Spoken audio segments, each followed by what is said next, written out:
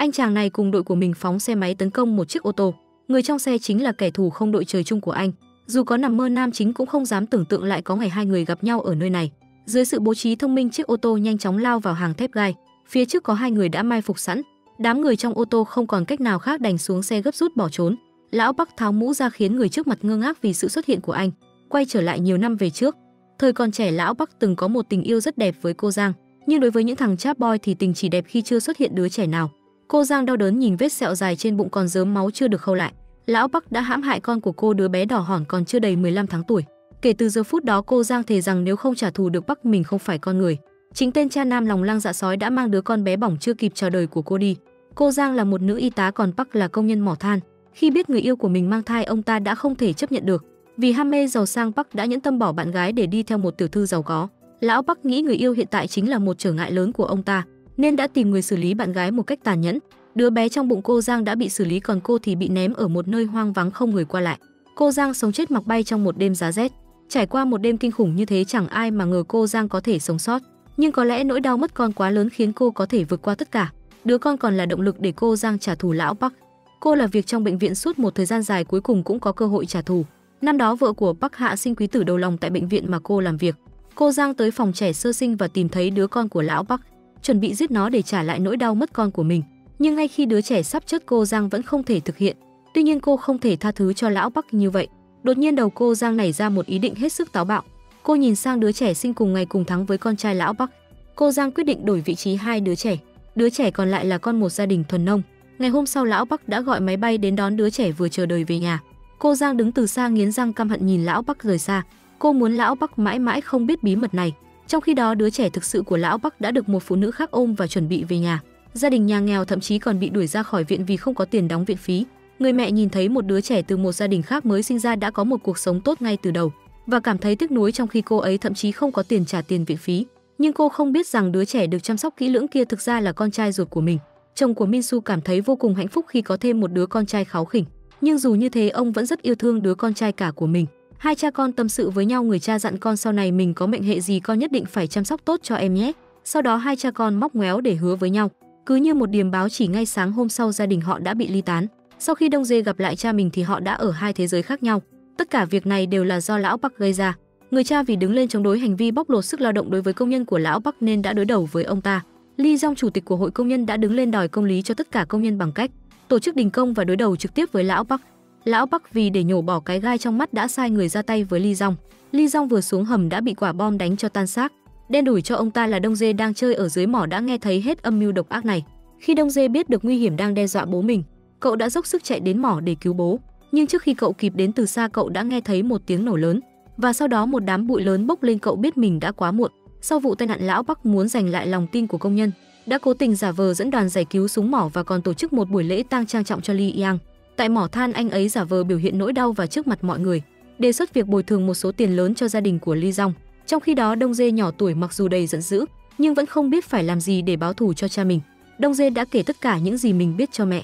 Mẹ cậu tức giận chỉ trích lão Bắc là một con quỷ giết người mặc dù giả vờ là người và cảnh báo anh ta nhớ kỹ hôm nay nghe về mối thù này các con chắc chắn sẽ trả thù cho cha đã chết oan. Từ khi cha qua đời cho đến khi an táng Đông Dê không nói một lời nào, bởi cậu biết chỉ có thông qua hành động của mình mối thù này mới có thể được giải quyết để cha có thể an nghỉ. Thời gian trôi qua nhanh chóng và đã 10 năm, Đông Dê với mối thủ trong lòng đã trở thành một chàng trai trẻ. Còn em trai Đông Su người đã bị đổi chỗ cũng đã lớn lên dưới sự chăm sóc của Đông Dê. Vở kịch thực sự bắt đầu từ đây. Người đàn bà với chồng đã bị chủ mỏ giết hại một cách tàn nhẫn sống ở tầng lớp dưới đáy của xã hội, với mong muốn tìm lại công lý cho chồng đã chết oan. Suốt 10 năm qua bà không ngừng viết đơn kiến nghị và khiếu nại đến các cơ quan liên quan, nhưng tất cả các đơn đều bị chủ mỏ có quyền lực chặn lại. Hành động của người phụ nữ này đã làm cho chủ mỏ tức giận anh ấy sắp đặt để bắt giữ bà. Một nhóm người đối mặt với một người phụ nữ yếu đuối họ đã đánh bà ta một cách tàn bạo. Chúng cảnh cáo bà rằng nếu không dắt gia đình rời khỏi thành phố này càng sớm càng tốt, thì sau này họ sẽ lấy mạng của cả gia đình bà. Đông Dê và Đông Su sau khi trưởng thành đau lòng nhìn người mẹ của mình bị tổn thương và nổi giận không thể kìm lại. Tuy nhiên người mẹ đã ngăn cản Đông Dê từ bỏ việc trả thù ngay lập tức, vì với sức mạnh hiện tại của họ việc này giống như lấy trứng trọi đá. Trong lòng Đông Dê cảm thấy rất bất lực. Anh đến kho lấy chiếc áo mà cha anh từng mặc và khóc lớn. Đông Su nhìn thấy anh trai mình đau khổ như vậy cũng chạy vào để an ủi anh. Nhìn em trai của mình đã 10 tuổi Đông Dê đã tiết lộ sự thật rằng cha của họ đã bị lão Bắc giết một cách tàn nhẫn. Trong suốt 10 năm qua Đông Dê luôn cảm thấy tự trách vì không thể cứu cha khiến anh rất đau khổ. Đông Su với đôi mắt đầy nước mắt an ủi anh trai rằng đó không phải là lỗi của anh. Sau cùng lúc đó anh mới chỉ 5 tuổi. Hai anh em đứng trên đỉnh núi thề rằng bất kể phải trả giá thế nào trong tương lai, họ cũng sẽ đòi lại công lý cho cha mình. Nhưng Đông Su vẫn còn nhỏ tuổi khi nhìn thấy kẻ thù giận dữ không thể giữ miệng lại, để cho lão Bắc biết quyết tâm trả thù của hai anh em họ. Lão Bắc ngay lập tức nảy sinh ý định giết chết họ, nhưng lão Bắc không biết rằng Đông Su người đang bị hắn hành hạ thực ra là con ruột của hắn, còn Min Hun mới chính là em trai ruột của Đông Dê. Khi trở về nhà lão Bắc ra lệnh cho thuộc hạ tiêu diệt gia đình Đông Dê. Trong lúc này Đông Dê đã nhận lỗi thay cho em trai và bị mẹ trách mắng. Mẹ anh liên tục nhắc nhở nếu không kiên nhẫn thì sẽ gây ra chuyện lớn. Khi cánh còn chưa mọc đầy đủ đặt mình vào tình huống nguy hiểm chỉ có con đường đi gặp tổ tiên thôi. Mẹ biết rằng họ phải rời khỏi nơi này ngay, nếu không lão Bắc chắc chắn sẽ hành động đối với hai người con trai. Vào giữa đêm lão Bắc đã ra lệnh thiêu cháy ngôi nhà của Đông Dê. May mắn là trong tình huống mẹ của hai anh em suýt phải trả giá bằng mạng sống, cả gia đình đã thoát ra ngoài một cách ngoạn mục. Lúc này Đông Dê vẫn có thể kiềm chế lòng thù hận trong lòng mình, nhưng Đông Su vẫn còn nhỏ không thể chôn vùi lòng thù hận nữa, đã mang theo một thùng xăng đổ về nhà lão Bắc để trả thù. Anh muốn thiêu chết kẻ đã giết chết cha mình đánh đập mẹ mình và thiêu cháy nhà mình. Nhưng khi anh vừa kích hoạt bật lửa Đông Dê đã kịp chạy đến và cố gắng ngăn chặn. Tuy nhiên Đông Dê đã đến muộn một bước ngọn lửa dữ dội ngay lập tức lan rộng ra. Đông Dê muốn dập tắt đám cháy nhưng đã không thể. Anh chỉ có thể yêu cầu em trai nhanh chóng chạy trốn và anh còn muốn cố gắng một lần nữa. Phát hiện có cháy lão Bắc đã ra khỏi nhà và nhìn thấy Đông Dê đang chạy trốn. Em trai nhận ra mình đã gây ra một rắc rối lớn vì phút nông nổi và liên tục xin lỗi anh trai. Đông Dê không trách móc em trai một chút nào, bởi vì anh nhớ lại lời hứa với cha mình hứa sẽ chăm sóc cho em trai. Anh quyết định chịu trách nhiệm cho vụ cháy và rời bỏ nơi này để kiếm tiền nuôi em học. Anh nhắc nhở em rằng trong những ngày không có anh, em cần phải học hành đàng hoàng để chuẩn bị cho việc trả thù sau này. Hai anh em với tình cảm sâu sắc ôm chặt nhau và khóc nức nở. Từ giờ em phải thay thế anh biết chưa phải bảo vệ mẹ và dì cùng với em gái biết chưa. Vâng Đông Dê đã lên tàu đêm cuối cùng đến thành phố. Nhìn anh trai dần xa Đông Su đầy nỗi tiếc nuối và khóc nức nở. Đông Su xin nhờ em chăm sóc mẹ, dì và em gái chúng ta sẽ sớm gặp lại nhau. Đông Su không muốn xa anh trai em phải cố gắng học hành anh yêu em yêu em hơn cả bầu trời. Trong cuộc đời này, người mà tôi yêu nhất chính là em hãy trở về sớm nhé, anh trai. Tuy nhiên ngay sau khi Đông Dê rời đi lão Bắc đã dẫn theo cảnh sát đến ga tàu. Đông Dê trên chuyến tàu cũng đã nhìn thấy cảnh sát đang truy đuổi mình. Em trai đau khổ không biết phải chờ bao lâu nữa mới có thể gặp lại anh trai mình. Người mà em coi như cha nhưng hai anh em đã đánh giá thấp sức mạnh của lão Bắc. Người giàu có và có quyền lực lão Bắc đã gọi điện đòi dừng tàu lại. Đông Dê không thể trốn thoát kịp và đã bị cảnh sát bắt giữ. Khi đối diện với kẻ thù ghét bỏ của mình, anh không thể nén nổi sự căm hận trong lòng dành cho lão Bắc. Trước mặt cảnh sát, anh đã kể lại những gì mình đã chứng kiến về lão Bắc. Đông Dê đã lớn tiếng kể lại cảnh tượng cha mình bị giết. Tuy nhiên những cảnh sát xung quanh giống như bị nhét bông vào tai giả vờ như không nghe thấy, nhưng điều này đã làm cho lão Bắc cảm thấy lo lắng. Nếu Đông Dê thực sự đã chứng kiến hành vi phạm tội của anh, rất có thể anh sẽ bị Đông Dê chỉ trích là kẻ giết người và sẽ phải đối mặt với cuộc điều tra. Do đó anh đã hướng dẫn nhân viên của mình tìm mọi cách loại bỏ Đông Dê. Lão Bắc không muốn bị Đông Dê một yếu tố không chắc chắn, cản trở anh trở thành kế thừa viên của tập đoàn Thái Tinh. Ngày hôm sau mẹ Đông Dê đau khổ biết rằng không thể ở lại đây lâu dài nữa, đã quyết định cùng gia đình rời bỏ nơi này. Lúc chia tay cháu gái của trưởng ga tàu là Hanji đã đến để chia tay Đông Su. Hai đứa trẻ ngây thơ đều có tình cảm đặc biệt với nhau và họ đã hứa sẽ không bao giờ quên nhau. Nhìn Đông Su dần xa cách Hanji đã chạy theo anh suốt 10 dặm. Chỉ mới thấy Đông Su ra đi trong nỗi đau Min Hun cũng đến để tiễn biệt người bạn thân sinh cùng năm. Khi đi qua mộ của cha Đông Su đã tổ chức một buổi lễ tưởng niệm. Người mẹ yêu cầu Đông Su thề trước mộ cha rằng trước khi thi đậu vào chức vụ công tố viên và trả thù cho cha, anh sẽ không bước chân lên mảnh đất này nữa. Min Hun đến trước ngôi nhà bị cháy rụi của Đông Su và thấy con lợn béo lớn bị chết cháy trong đám cháy. Anh biết đó là tài sản duy nhất của gia đình Đông Su. Bản tính tốt lành của Min Hun khiến anh không thể ngừng rơi nước mắt. Anh không thể tin rằng tất cả mọi chuyện này đều do cha mình người mà anh luôn tự hào gây ra. Nhưng mọi người đều nói như vậy bao gồm cả Hanji người mà anh cũng yêu mến. Điều này khiến anh đau đớn và khó chấp nhận. Đông Dê đã bị xử là kẻ gây ra vụ cháy và bị giam vào tù. Nhưng lão Bắc đã mua chuộc giám thị tù lão Bắc muốn Đông Dê mãi mãi biến mất khỏi trái đất này khi anh ta ở trong tù. Ngay khi vừa vào tù Đông Dê đã bị một nhóm tù nhân quyền lực đè xuống và đánh đập điên cuồng. Tuy nhiên dù bị đánh đập thế nào Đông Dê luôn tỏ ra không chịu khuất phục. Không ngờ rằng thái độ bất khuất của Đông Dê lại được sự đánh giá cao từ choi tù nhân quyền lực. Người tù nhân này rất thông minh, anh ta hiểu rằng dù theo lệnh của giám thị tù và đánh chết Đông Dê, anh ta cũng không có lợi gì mà còn phải chịu trách nhiệm về một cái chết. Lúc này anh ta đang âm mưu một kế hoạch trốn tù và cần một người trẻ và can đảm như Đông Dê để trở thành con mồi. Tuy nhiên Đông Dê đã từ chối thẳng thừng vì anh muốn được cải tạo thành một tù nhân mẫu mực và sớm ra tù để chăm sóc mẹ mình. Nếu trốn tù anh sẽ bước đi trên con đường trốn tránh và không quay trở lại. Cho đến ngày hôm đó mẹ anh với trái tim đau đớn đã đến thăm anh. Người mẹ kiềm chế nỗi đau lòng và ngồi một bên không nói một lời. Cô luôn tưởng rằng Đông Dê là kẻ đã gây ra vụ hỏa hoạn và vẫn giận anh, vì suốt 10 năm làm lụng vất vả. Cô hy vọng Đông Dê có thể thi đậu vào vị trí công tố viên để trả thù cho cái chết bi thảm của người cha. Tất cả hy vọng của người mẹ đều đặt lên Đông Dê, nhưng giờ đây không chỉ hy vọng đã đổ vỡ mà con trai cô còn bị tống vào tù. Đông Dê cảm thấy xấu hổ vì biết mình đã làm mẹ thất vọng. Người mà anh phụ nhất cũng là mẹ mình Đông Dê chỉ có thể quỳ xuống trước mẹ xin mẹ tha thứ. Nhưng mẹ đã rất thất vọng với Đông Dê em trai nhìn thấy lỗi của mình, đã gây ra cho anh trai mình nhiều tổn thương như vậy muốn nói ra sự thật nhưng lại bị Đông Dê ngăn lại. Khi rời đi mẹ nói với Đông Dê rằng đây là lần cuối cùng cô đến thăm anh và họ sẽ gặp lại nhau vào ngày anh trở thành một con người mới. Mẹ ơi dù ai nói gì con vẫn là con trai cả của mẹ. Lúc Đông Dê nhìn mẹ ra đi với đôi mắt đầy nước mắt, mẹ bỗng nhiên không cảm thấy tốt và ngất đi. Đông Dê thấy vậy liền hoảng loạn em gái của anh lúc này khóc nức nở và chạy đến phía anh, kể cho anh biết mẹ bị đánh nhiều lần bởi người của lão Bắc, làm tổn thương đến thận và vì không có tiền điều trị nên đã kéo dài tình trạng đến bây giờ, khiến cho tình trạng thận trở nên rất nguy kịch. Hiện tại cách duy nhất là phải tiến hành phẫu thuật càng sớm càng tốt, nhưng điều đó cần một khoản tiền lớn mẹ không muốn anh lo lắng nên đã yêu cầu chúng em không nói với anh. Nghe được sự thật này Đông Dê không cầm lại được cảm xúc và khóc lớn. Chính vì lý do đó Đông Dê đã tìm đến choi kẻ trùm trong tù và quyết định cùng họ trốn khỏi nhà tù. Dù có chuyện gì xảy ra ngay cả khi phải bước vào cõi địa ngục, Đông Dê cũng sẵn sàng làm mọi cách để kiếm tiền và cứu mẹ. Với sự tham gia của Đông Dê kế hoạch trốn tù mà Choi đã lên kế hoạch từ lâu đã được thực hiện vào tối đó. Một nhóm người đã trốn thoát mà không gặp bất kỳ rắc rối nào. Điều này càng làm cho cho Choi đánh giá cao sự dũng cảm của Đông Dê. Do đó anh muốn giúp Đông Dê và đã giới thiệu anh cho ông trùm của mình Kim. Chính Kim đã thay đổi cuộc đời Đông Dê. Dưới nước biển lạnh buốt âm 100 độ có một kho báu ai có thể lấy nó lên sẽ nhận được phần thưởng hậu hĩnh, nhưng việc lặn xuống có thể dẫn đến cái chết. Tuy nhiên vì tiền phẫu thuật của mẹ sau khi để lại lời di chúc anh đã không chần chừ và nhảy xuống. Với hào quang của một nhân vật chính Đông Dê đã dùng hết sức lực, tương tự như sức mạnh của chín con bò và hai con hổ để thành công kéo hàng lên. Nhờ vậy anh đã kiếm đủ tiền phẫu thuật cho mẹ. Anh đã lén lút tìm đến em trai mình giao toàn bộ số tiền mình đã trả giá bằng mạng mình để kiếm được và nhắc nhở em trai phải cứu mẹ không được nói với mẹ rằng anh đã đến và nhất định phải chăm sóc gia đình thay anh. Đông Dê không dám ở lại lâu sợ mẹ sẽ thất vọng lần nữa khi biết anh đã trốn tù. Anh chỉ có thể chịu đựng nỗi đau không nhìn lại và rời đi với đôi mắt đầy đẫm lệ. Nhưng khi họ trở lại họ phát hiện ra rằng Kim đã bị ám sát và nằm trong vũng máu. Khi họ đang hoang mang tiếng còi của cảnh sát từ ngoài vang lên, anh ngay lập tức nhận ra rằng có người đang cố tình đặt họ vào một cái bẫy để họ phải chịu trách nhiệm. Anh kéo Đông Dê chuẩn bị chạy trốn nhưng Kim vẫn còn một hơi thở. Lòng tốt của Đông Dê dù thế nào cũng muốn đưa Kim đến bệnh viện để cứu chữa. Như vậy Đông Dê đã cõng Kim người chỉ còn một hơi thở và chạy ảo ảo tới bệnh viện. Kim vì được đưa đến bệnh viện kịp thời mà đã may mắn thoát khỏi kiếp nạn này. Nhờ ơn cứu mạng này Kim càng trân trọng Đông Dê hơn. Biết Đông Dê đang cần tiền Kim đã sắp xếp cho anh làm phục vụ tại một sòng bạc. Ở đây không chỉ mức lương cao mà việc giúp khách lên giày còn có thêm tiền bo hậu hĩnh. Điều này đã khiến Đông Dê chứng kiến sự phô trương và tiêu tiền không tiếc tay. Điều này cũng đã thôi thúc tinh thần chiến đấu của Đông Dê. Anh thề rằng sẽ thành tạo một sự nghiệp lớn trong lúc Đông Dê chăm chỉ kiếm tiền để hỗ trợ em trai học hành. Em trai anh cũng không làm mọi người thất vọng khi trở thành một học sinh giỏi ở trường. Tuy nhiên lời nói của em trai lúc này đã đâm thủng trái tim của Đông Dê. Đông Su cho rằng tiền của anh trai không được kiếm một cách chính đáng và minh bạch, không còn chấp nhận những đồng tiền do anh trai kiếm được một cách dơ bẩn để thực hiện giấc mơ của mình. Anh nói rằng nếu mẹ biết chuyện này mẹ cũng chắc chắn sẽ không sử dụng bất kỳ đồng tiền nào từ anh trai. Đông Su nói rằng em thà không học nữa còn hơn.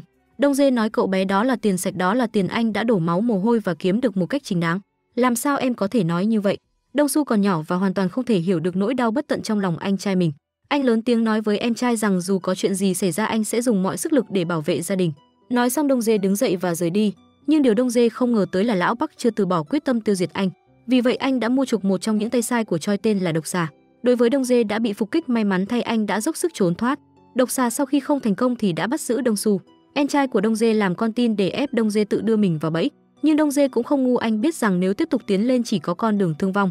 Muốn cứu em trai thì phải bắt kẻ chủ mưu trước Đông Dê yêu cầu Choi bắt lão Bắc để cứu em trai mình. Còn anh thì tiến đến gặp độc xà để trì hoãn thời gian. Nhìn thấy em trai mình có vết máu trên mặt và dao đặt ngay trên cổ. Đông Dê tức giận muốn xông lên và xé xác kẻ thù nhưng với em trai mình trong tay kẻ địch, Đông Dê chỉ có thể quỳ xuống hy vọng đổi lấy mạng sống của mình để cứu em trai. Chính lúc này Choi đã thành công trong việc bắt lão Bắc. Độc xà thấy ông chủ của mình đã trở thành con tin đành buông tha Đông Su. Nhìn thấy khuôn mặt đầy vết thương của em trai Đông Dê không kìm lại được nước mắt. Tiếp theo anh ta nhờ Choi đưa em trai về nhà trước và sau đó Đông Dê đầy giận dữ muốn giải quyết một mối hận với lão Bắc. Không ngờ lúc này cảnh sát đã đến nơi và Đông Dê lại bị bắt. Nhưng khi Đông Dê tỉnh lại anh phát hiện mình đang trên biển. Hóa ra Kim muốn trả ơn Đông Dê đã cứu mạng anh ta, đã giúp anh thoát ra và dự định đưa anh đến nước ngoài phát triển. Nghe vậy Đông Dê lập tức không đồng ý nếu anh ra đi thì ai sẽ chăm sóc cho mẹ và em trai. Anh không thể chỉ cứ như vậy mà rời bỏ nói xong anh nhảy xuống biển. Cùng lúc đó người mẹ nhìn thấy Đông Su toàn thân bị thương cảm thấy rất tức giận. Cô đã hoàn toàn thất vọng với Đông Dê anh không chỉ trốn tù mà còn tham gia vào băng đảng và còn làm cho em trai trở nên thảm hại như hiện tại. Cô quyết định từ giờ về sau mình chỉ còn một mình Đông Su làm con trai. Dù Đông Dê quay về nhận gia đình bà cũng sẽ không bao giờ chấp nhận anh ta là con trai của mình nữa. Nhưng nói rồi bà lại không kiềm chế được mà bật khóc. Mặt khác Kim đã rất khó khăn mới cứu Đông Dê từ dưới biển lên. Đông Dê quỳ trên mặt đất liên tục xin Kim đưa anh về lá phổi của Kim cảm thấy như muốn nổ tung.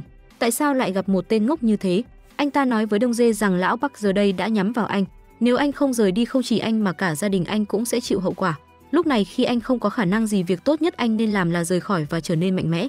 Nhưng khi vừa đến Macau vào ngày đầu tiên Kim đã bị một nhóm người lạ mặt bắt cóc. Đông Dê muốn cứu nhưng dù anh đã dốc sức mình cũng không thể đuổi kịp chiếc xe ô tô bốn bánh. Như vậy ở một đất nước xa lạ mà không có tiền bạc, Đông Dê cảm thấy rất bất lực một năm trôi qua nhanh chóng. Đông Dê dựa vào ý chí kiên cường và sự can đảm của mình, đã thành công trong việc vững chắc đứng vững ở một thành phố xa lạ. Ở nơi mỗi cm đất đều quý như vàng anh sẽ tạo dựng tương lai như thế nào? Một người phụ nữ tiến lên và bắt đầu cắn vào người đàn ông. Tình hình suýt nữa mất kiểm soát. Khi ấy một người làm vệ sinh đang đẩy xe rác tiến tới họ. Người làm vệ sinh không chú ý không tránh kịp và trực tiếp làm đổ một thùng rác lớn trước mặt người phụ nữ. Cậu đang làm gì vậy? Biết bộ quần áo này của tôi giá bao nhiêu không? Người phụ nữ tức giận mắng chửi người làm vệ sinh xin lỗi và cố gắng lau sạch vết bẩn trên người cô. Nhưng hành động này lại làm cô càng tức giận hơn và tát anh ta, sau đó cô tức giận rời đi. Nhưng sau khi người phụ nữ đi người đàn ông không trách cứ mà lại tiến lên và cảm ơn người làm vệ sinh.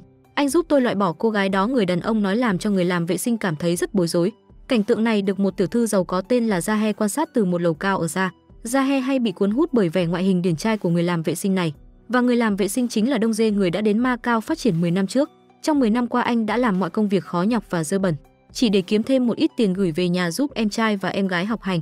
Em trai Đông Su cũng đã không phụ lòng mọi người thành công đậu vào trường luật Seoul. Nhìn vào bức ảnh của em trai giỏi cô Giang và mẹ trên tờ báo, Đông Dê không kiềm chế được nước mắt. Tất cả những gì anh đã trải qua suốt những năm qua anh cảm thấy tất cả đều đáng giá. Anh háo hức lái xe máy đi khắp các con phố, nhớ lại lời hứa với cha và những điều anh đã trải qua với em trai mình. Trái tim anh tràn đầy xúc động cuối cùng anh cũng không làm thất vọng kỳ vọng của cha, đã thành công trong việc nuôi dưỡng em trai trở thành một người tài năng. Anh đến bên bờ biển hướng về phía nhà và gọi tên người thân của mình to tiếng để bày tỏ nỗi nhớ của mình. Nhưng Đông Dê chưa bao giờ nghĩ rằng ở phía bên kia, những người thân của anh trong suốt 10 năm qua không có một tin tức gì về anh. Họ đều nghĩ rằng anh đã rời khỏi thế giới này. Hóa ra những lá thư và tiền mà Đông Dê gửi về nhà suốt 10 năm qua không hề đến tay mẹ anh, mà đã được gửi đến tay Linh Mục ở nhà thờ. Do Linh Mục đi du học ở nước ngoài cho đến khi trở về anh mới phát hiện ra những bức thư mà Đông Dê đã gửi về. Lúc này Linh Mục mới đưa tất cả các bức thư và tiền bạc đến. Trước mặt mẹ Đông Dê mọi người mới biết rằng Đông Dê vẫn còn sống. Điều này khiến cho em trai Đông Su rất phấn khích. Dù mẹ vẫn nói về Đông Dê như là một đứa con không hiếu thảo coi như không còn đứa con đó nữa, nhưng dòng nước mắt đau lòng trong mắt bà đã cho thấy sự nhớ nhung đối với Đông Dê trong những năm qua. Suốt thời gian này bà luôn trong những giây phút yên tĩnh của đêm khuya rơi lệ nhớ về Đông Dê. Bây giờ cuối cùng cũng biết Đông Dê vẫn còn sống đó là sự an ủi lớn nhất dành cho bà. Bên phía Đông Dê anh càng làm việc chăm chỉ hơn. Một ngày kia anh thấy hai tên nhóc lên trên tàu mặc đẹp và lộng lẫy, giả vờ lén lút vì trước đó anh đã tình cờ nghe thấy hai người họ đang lên kế hoạch đánh bom nhà hàng phương Tây trên tàu. Biết rằng mọi chuyện sắp xảy ra anh vội vàng cầm lên một bình ga ở bên và chạy vào nhà hàng muốn cứu chủ nhà hàng. Và người chủ nhà hàng này chính là Mike người mà Đông Dê gặp vào buổi sáng. Người đã bị một người phụ nữ hôn mạnh và lúc này Mike đang bị hai tên nhóc này đe dọa, buộc anh phải ký một hợp đồng chuyển nhượng nhà hàng. Mike để bảo vệ Zahe đã phải đồng ý. Và lúc quan trọng này Đông Dê mang theo bình ga đến. Anh ta nhanh chóng nhận ra Mike đang bị giữ làm con tin giữa biển người. Anh ta giả vờ là một đầu bếp đến đòi tiền lương, sau đó nhanh chóng nhảy lên bàn ăn và đẩy Mike xuống đất. Anh nói thầm với Mike về vai diễn của mình đẩy họ về phía cửa ra. Lúc này hai tên nhóc nhận ra mánh khóe của Đông Dê rút súng ra và đe dọa anh phải trả lại con tin. Nhưng Đông Dê lại rất bình tĩnh mở van bình ra và rút ra bật lửa, cảnh báo họ nếu không muốn chết thì hãy rời đi nhanh chóng. Sự can đảm không sợ chết của Đông Dê đã làm cho hai tên nhóc sợ hãi. Tiếng còi cảnh sát cũng vang lên ngay sau đó hai tên nhóc chỉ biết bỏ chạy thôi. Đông Dê mới thở phào nhẹ nhõm anh ấy đã muốn rời đi như vậy, nhưng Mike lại không đánh giá cao những gì Đông Dê đã làm, trách móc rằng nếu bình ga vừa rồi thực sự phát nổ hậu quả sẽ không thể tưởng tượng nổi.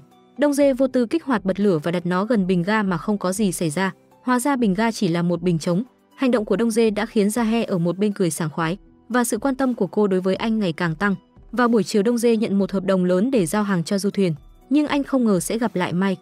Cuộc gặp này hóa ra là do Gia cố ý sắp đặt cô muốn đi trên chiếc thuyền của Đông Dê và Mike đã dùng một hộp thức ăn còn dư làm tiền công để Đông Dê đồng ý. Và như vậy Gia đã thành công tiếp cận Đông Dê cùng ngồi trên một chiếc thuyền. Gia nhìn Đông Dê từ từ nhâm nhi và thưởng thức món cơm còn lại. Cái nhìn của cô khiến Đông Dê cảm thấy lạ lùng và cô đã trực tiếp đặt cho anh một biệt danh oai oái gọi là chú ăn mày. Đông Dê không để bụng ngược lại anh đã làm mắng Gia rằng cô còn trẻ, mà sao lại làm cô gái phục vụ trong các quán rượu.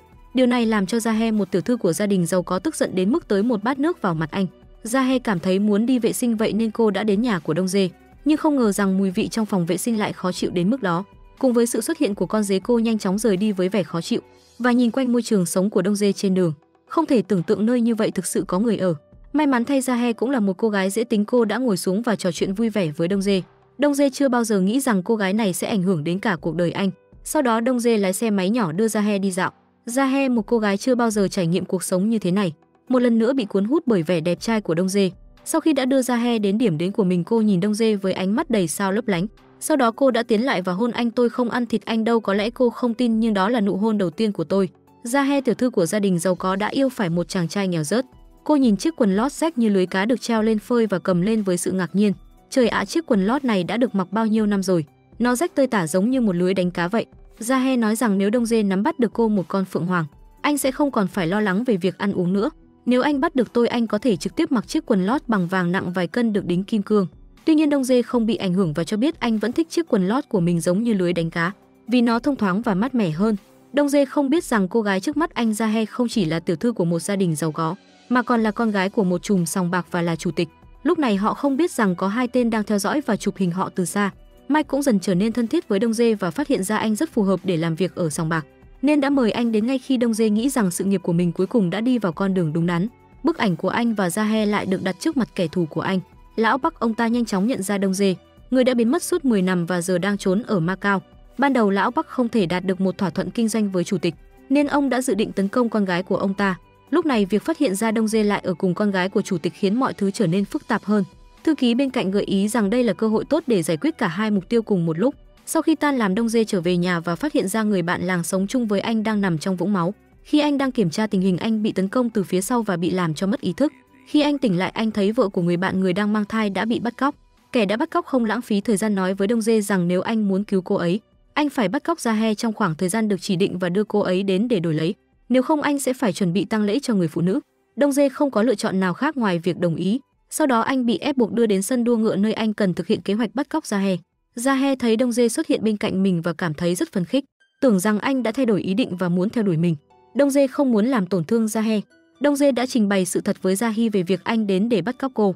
Điều ngạc nhiên là Gia không chỉ không cảm thấy sợ hãi mà còn cảm thấy thú vị. Cô cảm thấy cuộc sống hiện tại của mình quá chán trường đến mức điên đảo. Tuy nhiên xung quanh Gia luôn có vệ sĩ bảo vệ. Gia tưởng rằng Đông Dê đang đùa với cô và vì muốn trải nghiệm cảm giác mạo hiểm, cô đã tự mình nảy ra tưởng để trốn thoát khỏi vệ sĩ và để Đông Dê bắt cóc cô. Ra He đến một nhà hàng và trước khi vệ sĩ theo kịp cô đã chạy vào bếp và thoát ra từ cửa sau. Sau đó lên chiếc xe máy mà Đông Dê đã chuẩn bị từ trước và rời đi với niềm vui sướng. Tuy nhiên khi đến nơi đã định Ra He nhận ra sự thật rằng Đông Dê thực sự đã bắt cóc mình. Cô giận dữ và đã đá anh một cú. Trong quá trình bị chuyển đi Ra He tỏ ra tức giận và đặt câu hỏi cho Đông Dê. Ngươi là kẻ bần đạo khốn khiếp lựa lý do từ lúc đầu ngươi tiếp cận tôi có phải chỉ vì mục đích này? Không một người đàn ông như ngươi sống một cách đê tiện như vậy tốt hơn hết hãy rút dao đâm mình đi. Không có can đảm để chớt sao kẻ tiểu nhân đê tiện của ngươi ra He bị giam giữ trong một biệt thự. Xung quanh có người cầm súng đứng canh nghiêm ngặt Đông Dê vì muốn cứu vợ của người bạn, nên chỉ có thể chịu đựng sự trách móc từ ra He. Tính khí của cô tiểu thư ra He khiến cho những người gác có sự không hài lòng. Khi thấy vậy Đông Dê lập tức tiến lên để bảo vệ ra He. ra He trong sự chán trường nhảy điệu múa trong sân chơi trên bãi cỏ và Đông Dê cũng tham gia vào anh ta nhảy xung quanh ra He. Và trong lúc đó khi người gác không chú ý Đông Dê đưa cho ra He một chìa khóa thuyền. Đông Dê không muốn Gia He chết ở đây. Đông Dê cố gắng kéo sự chú ý của kẻ cầm đầu bọn bắt cóc để tạo cơ hội cho Gia He trốn thoát. Với sức mạnh của tình yêu Gia He dốc sức nhảy qua hàng rào hướng về chiếc tàu cao tốc ở bờ biển.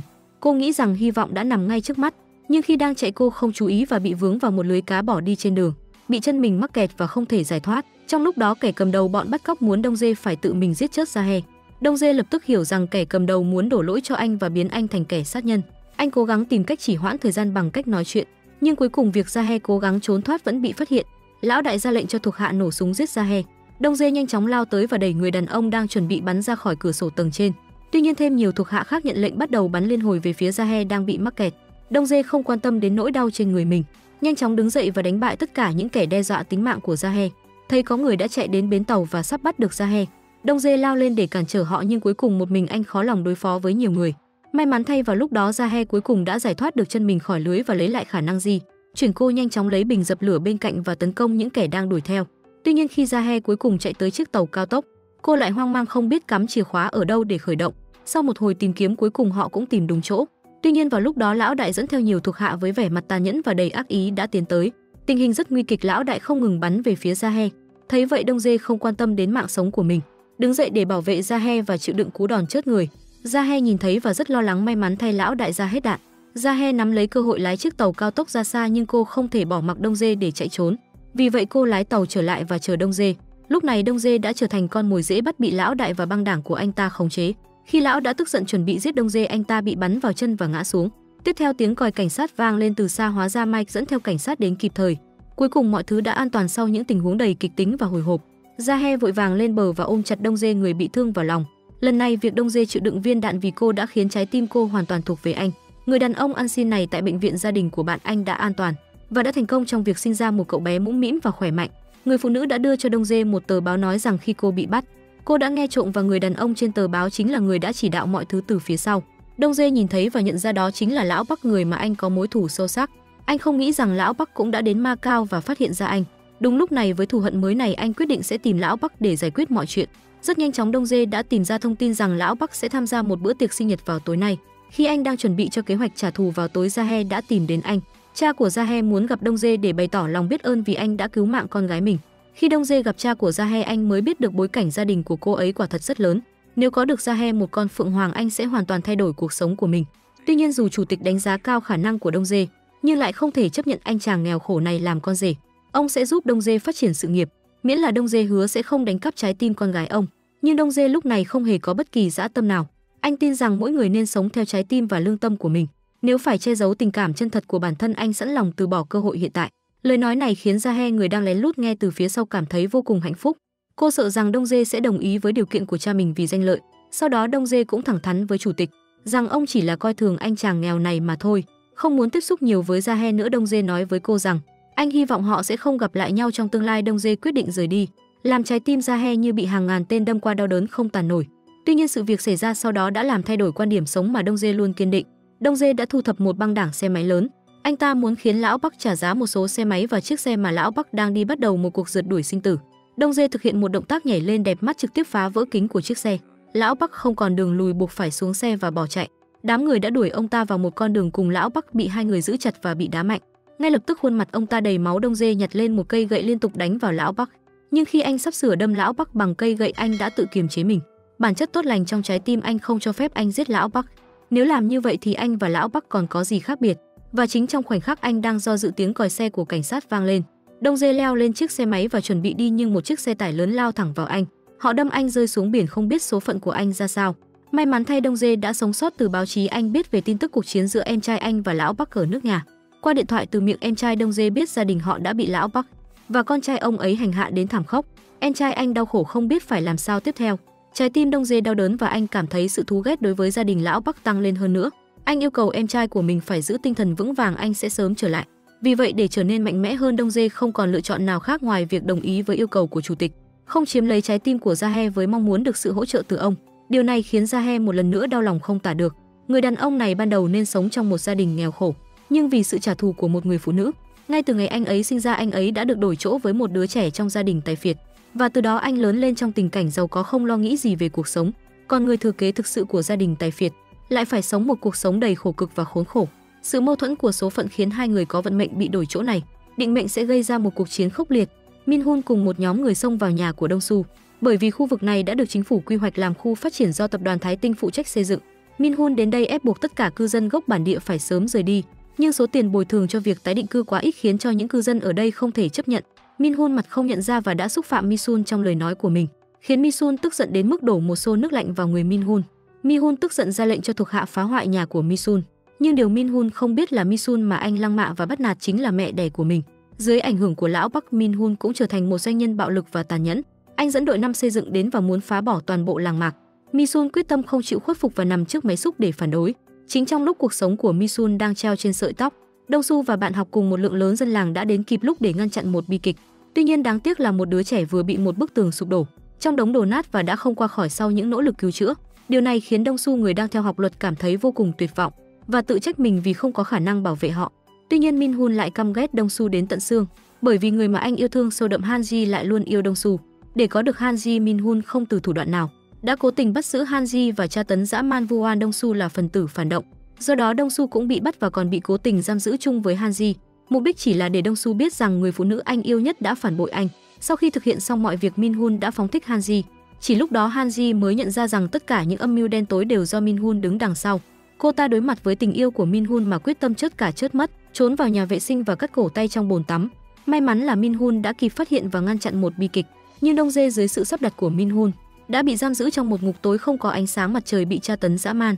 Lão Bắc thậm chí muốn Đông Su chết ngay trong ngục tối đó, nhưng ông không biết rằng Đông Su chính là con trai ruột của mình. Khi Đông Su đang đối diện với nguy cơ sắp đi gặp các cụ, anh trai Đông Dê cùng với chủ tịch và con gái của ông đã trở về nước trên máy bay. Đông Dê đã đọc trên báo về việc em trai mình mất tích và cảm thấy rất lo lắng. Và tin tức về việc Đông Dê trở về đã làm lão Bắc rất sốc, không hiểu làm sao một người đã chết lại không chỉ còn sống, mà còn kết hợp với kẻ thù không đội trời chung của mình. Một người có quyền lực lớn như chủ tịch ông ta nhanh chóng ra lệnh để chuẩn bị trước, cần phải ngăn chặn rắc rối từ Đông Dê ngay từ trong nồi. Đông Dê vì muốn mạnh mẽ hơn đã từ bỏ tình cảm với Gia He, chọn làm thuộc hạ cho chủ tịch khiến Gia He coi thường Đông Dê. Cô coi Đông Dê như một con chó săn của cha mình. Người ta thường nói càng tổn thương sâu sắc thì tình yêu càng sâu đậm. Gia He chỉ có thể tìm kiếm một chút an ủi cho trái tim bị tổn thương của mình. Qua việc liên tục trách móc Đông Dê, khi trở về Đông Dê ngay lập tức liên hệ với mẹ và biết em trai mình đã bị cảnh sát giam giữ trong một ngục tù tựa như địa ngục. Bây giờ Đông Dê chỉ có thể cầu xin chủ tịch giúp đỡ để cứu em trai ra. Điều này với Đông Dê là một nhiệm vụ khó khăn, nhưng đối với chủ tịch chỉ cần mở miệng là có thể thực hiện. Chủ tịch đã đồng ý một cách dễ dàng, bởi sau khi tìm hiểu ông đã biết đó là mưu mô của lão Bắc phía sau lưng. Chủ tịch nói không biết là ngẫu nhiên hay là định mệnh kẻ thù của chúng ta lại là cùng một người. Hứa hẹn tối nay sẽ để Đông Dê gặp em trai của mình. Ba ngày Đông Dê đã thực hiện công việc đầu tiên cho chủ tịch sau khi trở về nước. Trong quá trình thực hiện nhiệm vụ anh gặp đồng học của Đông Su là Somin, nhưng Đông Dê lại không biết danh tính của Somin. Lúc này So-min cũng đang tìm cách giải cứu Đông Su. Somin là con gái thứ hai của chủ tịch Min Hun trong tờ báo Đại Hàn. Cô tìm đến cha mình để xin giúp đỡ, nhưng cha cô lại nói với cô rằng Đông Su đã có người giúp đỡ. Đông Dê sau khi hoàn thành nhiệm vụ và trên đường trở về lại gặp So-min cũng đang trở về. Như vậy qua vài lần gặp gỡ, hai người bắt đầu biết đến nhau. Đến tối Đông Dê đứng trong cảnh trường buồn bã chờ đợi sự xuất hiện của em trai. Lúc này một chiếc xe từ xa lao tới sau đó dừng lại và ném một người xuống. Chiếc xe vừa ném người xuống thì lập tức rời đi. Đông Dê một mặt tiến lại gần một cách cẩn trọng một mặt gọi tên em trai. Mặc dù đã 10 năm chưa gặp nhưng Đông Su nhanh chóng nhận ra từ giọng nói rằng đó chính là anh. Trai mình hai anh em cuối cùng cũng gặp lại nhau dưới bầu trời tối đen. Người nhìn thấy con trai mình sau 10 năm và nước mắt tuôn rơi như mưa. Không có lời nào có thể diễn tả nỗi nhớ thương của mẹ và con trong suốt 10 năm. Lúc này họ chỉ có thể ôm chặt nhau và khóc nức nở. Nhưng khi trở về nhà mẹ lại quay mặt muốn đuổi con trai ra khỏi nhà. Thấy con trai trở về bình an Misun cuối cùng cũng yên lòng. Nhưng cô không bao giờ muốn tha thứ cho Đông Dê. Vì hành động trước kia của anh là trốn tù và gia nhập băng đảng. Bây giờ Đông Dê thậm chí còn là một gã tay chân trong sòng bạc. Điều này làm Misun cảm thấy vô cùng thất vọng. Trong trái tim Misun sự căm ghét với lão Bắc vì đã gây ra cái chết cho chồng mình. Lòng căm ghét trong Misun ngày càng sâu đậm. Bây giờ thấy Đông Su đã thi đỗ vào trường luật lớn và có thể trở thành một công tố viên để trả thù cho lão Bắc. Misun không muốn bản thân thấp kém của Đông Dê ngày nay ảnh hưởng đến tương lai của Đông Su. Cô thậm chí cảm thấy khinh miệt mỗi đồng tiền mà Đông Dê kiếm được cho rằng chúng đều bẩn thỉu. Cô yêu cầu Đông Dê người mới trở về nhà rời bỏ ngôi nhà của mình và không bao giờ xuất hiện trước mặt cô và em trai mình nữa. Đông Dê chịu đựng nỗi đau rời đi những năm tháng cay đắng và nỗ lực chỉ có anh mới hiểu rõ. Mỗi đồng tiền anh gửi về nhà đều là tiền mà anh phải lao động cật lực từ sáng tối. Chính vì Misun đặt tất cả hy vọng trả thù vào Đông Su, cô đã loại bỏ mọi rào cản ảnh hưởng đến tương lai của anh, khiến Đông Su mất đi người phụ nữ mình yêu thương nhất và đau đớn không muốn sống. Trước đó Hanji đã bị Mihun hấp diêm dẫn đến việc cô hiện tại mang thai con của anh.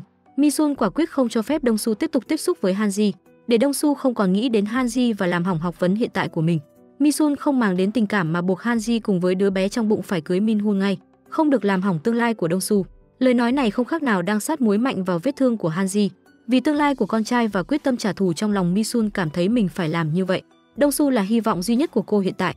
Cuối cùng Hanji vẫn đã đưa ra quyết định đau lòng của mình cô có thể từ bỏ mọi thứ kể cả cuộc đời mình. Nhưng duy nhất cô không thể từ bỏ là đứa trẻ vô tội trong bụng mình. Vì chính cô từ khi sinh ra đã không biết cha mình là ai. Vì con mình Hanji đành lòng đau đớn đồng ý lời cầu hôn của Min Hun.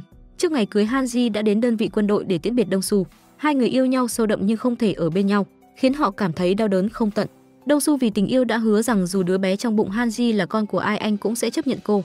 Nghe lời này Hanji cảm thấy mãn nguyện nhưng cô không hề có ý định làm như vậy. Hanji đã không tiết lộ cho Đông Su những gì mẹ anh nói với mình. Cuối cùng cô chỉ mong Đông Su chúc phúc cho mình và sau đó cất giấu trái tim yêu Đông Su vào sâu trong lòng rời đi trong vô vàn đau đớn. Đông Su nhìn Hanji dần xa lòng đau đớn không kìm lại được tự trách mình không bảo vệ người mình yêu. Nhưng vào ngày cưới của Hanji và Min Hun Đông Su vẫn đến dự lễ. Khi hai đôi mắt gặp nhau hai người đột nhiên rơi lệ đây là hình ảnh làm Đông Su đau đớn biết bao. Rõ ràng họ yêu nhau sâu đậm nhưng bây giờ lại phải chứng kiến người mình yêu sâu đậm kết hôn với người khác. Ba năm trôi qua nhanh chóng tình cảm của Jahe dành cho Đông Dê càng ngày càng sâu đậm. Trong một buổi tiệc nhảy Jahe không thể kiềm chế được và một lần nữa tỏ tình với Đông Dê, bày tỏ rằng cô sẵn sàng từ bỏ tất cả vì anh. Nhưng Đông Dê biết rằng với cuộc sống hỏng của mình hiện tại, anh chỉ sẽ làm hại đến cuộc sống của gia hay cô đã chờ đợi anh 3 năm và anh lại bảo cô rời đi. Chủ tịch biết về việc con gái mình tỏ tình với Đông Dê tại buổi tiệc nhảy tối hôm qua và ông tuyệt đối không cho phép Đông Dê ở bên con gái mình. Vì thế ông không đồng ý ông sẽ đặt Đông Dê vào tình thế tử thần. Gia he vì lo lắng cho sự an toàn của Đông Dê nên đành đồng ý, nhưng người cha của cô không giữ lời hứa ông cố tình sai Đông Dê đến Busan để tranh giành lãnh thổ casino với băng đảng ở đó. Đông Dê biết rằng đây là một nhiệm vụ mạo hiểm, nhưng để báo đáp lòng tốt của chủ tịch trong những năm qua và để cứu đỡ em trai mình, anh không có lựa chọn khác và cuộc trò chuyện giữa hai người vô tình bị Jahe nghe thấy từ ngoài cửa. Khi Đông Dê ra đi cô dẫn giữ xông vào phòng, đối diện với người cha và hỏi tại sao ông lại phản bội lời hứa, cảnh cáo ông nếu làm hại Đông Dê dù chỉ một chút, cô sẽ không bao giờ tha thứ cho tất cả những gì ông đã làm. Chủ tịch cảm thấy bất lực chỉ có thể hứa sẽ cử thêm một số người để bảo vệ Đông Dê, đảm bảo anh sẽ không gặp phải chuyện gì. Jahe với đôi mắt đẫm lệ đến phòng của Đông Dê. Hôm nay sau khi Jahe đến nhà mẹ của Đông Dê, cô cuối cùng cũng hiểu tại sao anh lại cố gắng đến như vậy suốt thời gian qua. Hóa ra tất cả những gì anh làm đều để bảo vệ gia đình mình. Jahe nói rằng cô có thể từ bỏ tình cảm dành cho anh, nhưng anh phải hứa một điều với cô anh phải sống sót. Jahe sợ rằng lần này Đông Dê ra đi sẽ không trở về, nhưng đây cũng chính là cơ hội cho anh thay đổi số phận. Anh biết rằng mình phải mạo hiểm Đông Dê không còn là cậu thanh niên ngốc nghếch như xưa nữa. Anh đến Busan một mình để đàm phán với ông trùm đối diện. Dù ban đầu anh bị một nhóm người vây quanh và đánh đập mà không có khả năng đáp trả, nhưng vì anh đã dám đến một mình chắc chắn anh đã chuẩn bị mọi thứ. Trước khi tới anh đã có trong tay bằng chứng về những bí mật của ông trùm kia và sử dụng nó như một điều kiện đàm phán. Cuối cùng Đông Dê không chỉ thoát khỏi một cách an toàn, mà còn thành công trong việc hợp tác với bên đối tác và thu được quyền chuyển nhượng sòng bạc. Khi ra he người đã lo lắng chờ đợi thấy Đông Dê trở về đầy máu trên người, trái tim cô thật sự đã được gỡ bỏ nhưng nước mắt xót xa cứ không ngừng rơi. Đông Dê đã trao hợp đồng chuyển nhượng cho chủ tịch. Lúc này chủ tịch không ngờ Đông Dê có khả năng giải quyết công việc tốt đến như vậy. Mặc dù bề ngoài ông rất khen ngợi Đông Dê, nhưng trong lòng ông đã cảm thấy một loại sợ hãi sâu sắc đối với anh. Để đảm bảo rằng con gái mình và Mike sẽ thành công trong việc đính hôn vào ngày mai, chủ tịch mong muốn Đông Dê không xuất hiện tại địa điểm đính hôn, đồng thời để loại bỏ trở ngại lớn nhất trên con đường hạnh phúc của con gái mình. Chủ tịch dựa vào lòng biết ơn của anh trong những năm qua đã sắp xếp một nhiệm vụ cuối cùng cho Đông Dê, chỉ ra rằng sau nhiệm vụ này họ sẽ không còn mối quan hệ nào nữa. Đông Dê người trọng tình trọng nghĩa chỉ có thể đồng ý. Sáng hôm sau Đông Dê lái xe máy bắt đầu hành trình mới, nhưng trước khi ra đi anh đã dừng lại trước cửa. Anh không biết sau chuyến đi này sẽ mất bao lâu mới có thể gặp lại người phụ nữ anh yêu thương. Có lẽ đó thực sự là mãi mãi anh rất muốn gặp Jahe lần cuối. Trong nhà Jahe người đang cảm thấy đau đớn nghe thấy tiếng xe máy và biết đó là Đông Dê. Vì vậy cô đã chạy xuống như điên để gặp anh, nhưng cha cô đã dự đoán trước và ngăn chặn cô ở cửa, nói với cô rằng nếu cô không muốn thấy Đông Dê chết thảm thì cô nên trở lại phòng của mình. Vì người mình yêu Jahe chỉ có thể chấp nhận nỗi đau. Trong lúc này Đông Dê đã lái xe máy ra đi một mình. Lễ đính hôn của Jahe và Mike diễn ra dưới lời chúc phúc của mọi người. Cùng lúc đó Đông Dê khi thực hiện nhiệm vụ, Đông Dê đã rơi vào bẫy của lão Bắc và một lần nữa bị vài chục người cầm gậy đánh đập. Từ quá khứ đến hiện tại đã trôi qua lá đỏ rụng xuống và chôn vùi dưới bụi đất. Tất cả mọi thứ đều bắt đầu và kết thúc. Đông Dê không bị đánh chết mà bị lão Bắc bắt giữ vu oan anh là kẻ giết người. Mục tiêu của ông là phá hủy niềm tin của gia đình Đông Dê, để mẹ Đông Dê nhìn thấy con trai mà bà đã từng hy vọng thực ra là một kẻ xấu xa đến tận cùng. Lão Bắc không sợ chủ tịch can thiệp cứu Đông Dê, vì ông biết Đông Dê đã trở thành một con cờ bị bỏ rơi bên phía chủ tịch. Còn Gia He sau khi đính hôn và chuẩn bị về Macau cùng với Mike, tình cờ thấy tin Đông Dê bị bắt trên tờ báo điều này làm cô rất sốc và lo lắng. Khi Mike mua xong vé và trở về Gia He đã biến mất Gia He gọi điện cho cha mình. Ban đầu Gia He muốn gọi điện để trách móc cha mình hỏi tại sao ông không giữ lời hứa bảo vệ Đông Dê, nhưng khi nghe giọng điệu lạnh lùng từ phía bên kia đường dây lòng cô tràn đầy giận dữ, nhận ra cả cô và Đông Dê đều bị cha mình đùa giỡn. Cô lập tức cắt máy sau đó quyết định tháo chiếc nhẫn đính hôn của Mike ra khỏi tay. Cô quyết định không để cha mình kiểm soát cuộc sống của mình nữa. Cô muốn theo đuổi tình yêu mà mình mong muốn. Gia He vội vã chạy tới nhà Đông Dê tìm Đông Su và nhờ anh tìm cách giải cứu anh trai mình. Nhưng lúc này Đông Su người chưa tốt nghiệp chỉ là một sinh viên tại trường đại học luật. Khi đến cơ quan cảnh sát anh ta thậm chí còn không thể gặp mặt anh trai mình và đã bị đuổi ra ngoài. May mắn thay khi rời khỏi đó anh ta gặp chủ tịch. Chủ tịch rất lo lắng cho sự an toàn của con gái mình sau khi cô mất tích.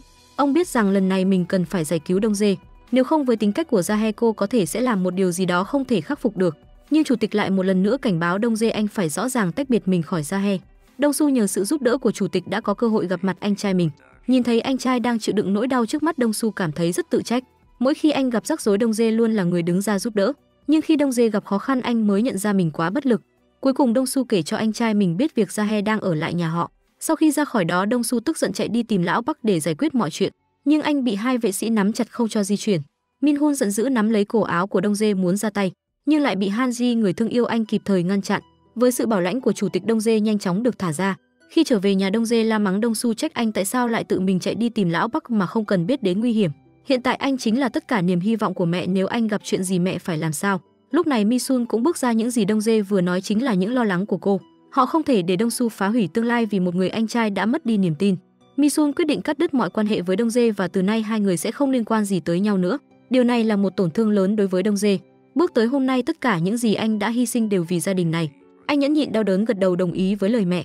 Lúc này Ra He cũng bước ra cô cuối cùng biết được Đông Dê đã chịu đựng bao nhiêu đau khổ và khó khăn để tiếp tục sống. Cuối cùng Đông Dê nhắc nhở em trai phải chăm sóc tốt cho mẹ và gia đình. Sau đó anh kéo Ra He đi mà không nhìn lại. Họ đến bên bờ biển nhìn người phụ nữ trước mắt sẵn lòng từ bỏ mọi thứ vì anh. Đông Dê cuối cùng đã đối diện một cách thanh thản với trái tim thật sự của mình, không trốn tránh nữa và quyết tâm yêu thương người phụ nữ trước mắt tiểu thư của gia đình Tài Phiệt. Vì tình yêu mà bỏ trốn cùng chàng trai nghèo, chàng trai nghèo hứa hẹn sẽ bỏ lại mọi thứ, cùng cô sống một cuộc sống bình thường ở nơi đây. Anh sẽ ra biển đánh cá còn em chỉ cần nấu những món ăn mà anh yêu thích và đợi anh trở về. Anh sẽ làm ngư phủ, cô sẽ là vợ của ngư phủ bức tranh tương lai tươi đẹp này.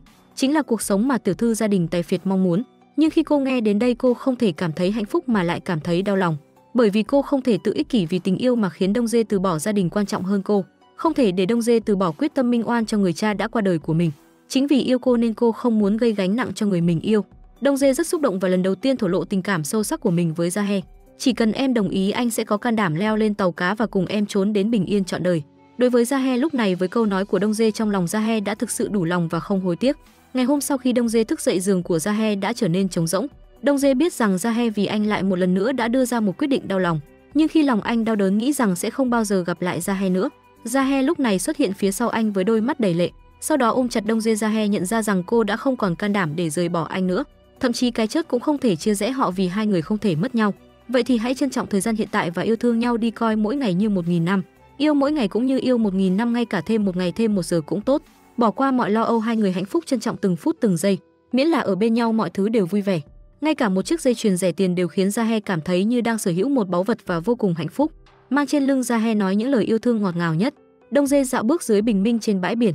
Khi mệt mỏi họ nằm xuống trên các khi đói thì đi bắt vài con cá trong biển để ăn. Mặc dù cuộc sống đơn giản nhưng lại rất hạnh phúc nhưng những gì đến sẽ đến. Chủ tịch và dàn thủ hạ của ông đã tìm đến nơi này. Jahe muốn kéo Đông Dê chạy trốn, nhưng Đông Dê không muốn để Jahe phải sống cuộc sống trốn chạy có những việc cần phải đối diện. Ngay khi bắt đầu chủ tịch đã tách hai người ra khỏi nhau sau đó nhặt một con dao từ mặt đất tất cả mọi người đều nói Đông Dê là cánh tay phải của mình. Vậy thì hôm nay ông sẽ phá hủy cánh tay phải này từ nay về sau không còn mối quan hệ nào nữa. Chủ tịch đưa tay phải ra trước sau đó ra lệnh cho thủ hạ của mình chém một nhát vào tay. Như vậy mọi mối hận thù giữa ông và Đông Dê đã kết thúc. Thời gian trôi qua chỉ trong một khoảnh khắc đã 2 năm. Đông Dê mở một trạm thu mua phế liệu và sống cuộc sống bình dị. Lúc này chủ tịch bất ngờ tìm đến Đông Dê kể từ khi mất Đông Dê lòng ông luôn cảm thấy bất an, mà không có Đông Dê công việc ở nước ngoài của ông trở nên hỗn loạn. Vì vậy ông đưa ra một nửa cổ phần của sòng bạc ở Busan hy vọng Đông Dê sẽ trở lại giúp ông. Nhưng Đông Dê đã từ chối thẳng thừng. Trong 2 năm qua Đông Dê đã cải tà quy chính và mối quan hệ với mẹ mình đã trở lại như xưa. Chỉ cần nhận ra sai lầm và sống tốt Misun sẽ không bao giờ từ bỏ con của mình. Nhìn vào phong bì mà chủ tịch để lại trên bàn, Misun rất lo lắng rằng Đông Dê sẽ một lần nữa dấn thân vào con đường không lối thoát. Về phía Đông Su sau những nỗ lực không ngừng cuối cùng anh cũng tìm thấy người thợ đã bị lão Bắc mua chuộc.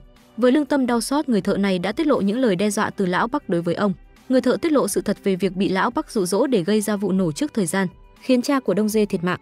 Đông Su ghi lại tất cả và chuẩn bị khi trở thành công tố viên sẽ giúp cha mình làm sáng tỏ oan ức. Những năm này mặc dù Đông Dê đã mất Han Ji anh lại quen biết và gần gũi với Somin tiểu thư của một gia đình tài phiệt. Một ngày sau, Mi nhận được thông tin nội bộ rằng Đông Su đã vượt qua kỳ thi tư pháp với thành tích hàng đầu trong trường. Ngay lập tức cô thông báo tin này cho Đông Su. Đông Su với niềm vui sướng tìm đến anh trai mình và chia sẻ tin tức đầy hứng thú này. Hai anh em ôm chặt nhau Đông Su đã không phụ lòng kỳ vọng của anh trai nhờ vào sự nỗ lực của mình tuy nhiên. Vào tối cùng ngày một quan chức cấp cao của chính phủ tự mình đến gặp đặt ra điều kiện trước Đông Dê, giúp chủ tịch giải quyết công việc khẩn cấp ở nước ngoài. Nếu không tương lai của Đông Su sẽ khó được đảm bảo. Rốt cuộc với lịch sử từng bị bắt và xác định là một nhà hoạt động, Đông Dê không ngay lập tức đồng ý mà bắt đầu do dự. Đông Su với thành tích xuất sắc đã được phỏng vấn bởi các phương tiện truyền thông. Không ngờ Đông Su đã tận dụng cơ hội này để kể về việc cha mình bị oan ức qua đời bày tỏ rằng việc đầu tiên anh sẽ làm khi trở thành công tố viên là giúp cha mình làm sáng tỏ sự thật. Gia đình lão Bắc đã xem phỏng vấn này trên truyền hình, nhưng lão chủ tịch lại không biết sự thật về vụ tai nạn ở mỏ than và cho rằng Đông Su chắc chắn đã hiểu lầm con rể mình. Để không gây phiền phức cho gia đình bởi một công tố viên như thế, lão chủ tịch nhanh chóng hẹn gặp Đông Su riêng lẻ mong muốn giải quyết sự hiểu lầm này. Tuy nhiên khi Đông Su đưa ra băng ghi âm chứng minh lão Bắc có lỗi, trong đó rõ ràng mô tả lão Bắc đã hướng dẫn gây ra cái chết cho cha của Đông Su mọi thứ đã trở nên rõ ràng. Sau khi nghe xong lão chủ tịch không thể tin được rằng con rể của mình đã làm những việc độc ác như vậy mà không nói với ông. Cảm xúc quá mạnh khiến huyết áp của ông tăng cao và bất tỉnh ngay tại chỗ. Đầu ông tình cờ đập vào bàn khiến máu chảy ra nhiều. Đông Su vội vàng kiểm tra tình hình và chính xác lúc đó lão Bắc chạy vào sau khi nghe tiếng động. Ngay lập tức vu khống Đông Su là thủ phạm. Ngay vào lúc quan trọng khi Đông Su sắp trở thành một công tố viên anh bị cảnh sát bắt giữ. Đông Dê không còn cách nào khác vì em trai mình đã quyết định tìm đến chủ tịch. và đồng ý giúp ông giải quyết vấn đề với hy vọng ông sẽ giải cứu em trai mình mà không để lại bất kỳ vết như nào. Sớm thôi Đông Su đã an toàn trở về nhà. Khi anh hỏi về người anh trai của mình, lúc này Đông Dê đã ngồi trên một chuyến bay đi nước ngoài. Người yêu mà anh chưa gặp trong hai năm qua cô ấy bị trói chặt bốn cạnh và bị giam giữ trên một giường bệnh. Người đàn ông chỉ biết rơi lệ đau đớn mà không có ý định cứu giúp, bởi việc này chỉ là quá trình điều trị bệnh. Hóa ra trước đó theo lệnh của chủ tịch Đông Dê đã đến Macau để mở rộng kinh doanh sòng bạc tại nơi này và triệu hồi những người giới quyền của mình trước đây dễ dàng giải quyết mọi vấn đề.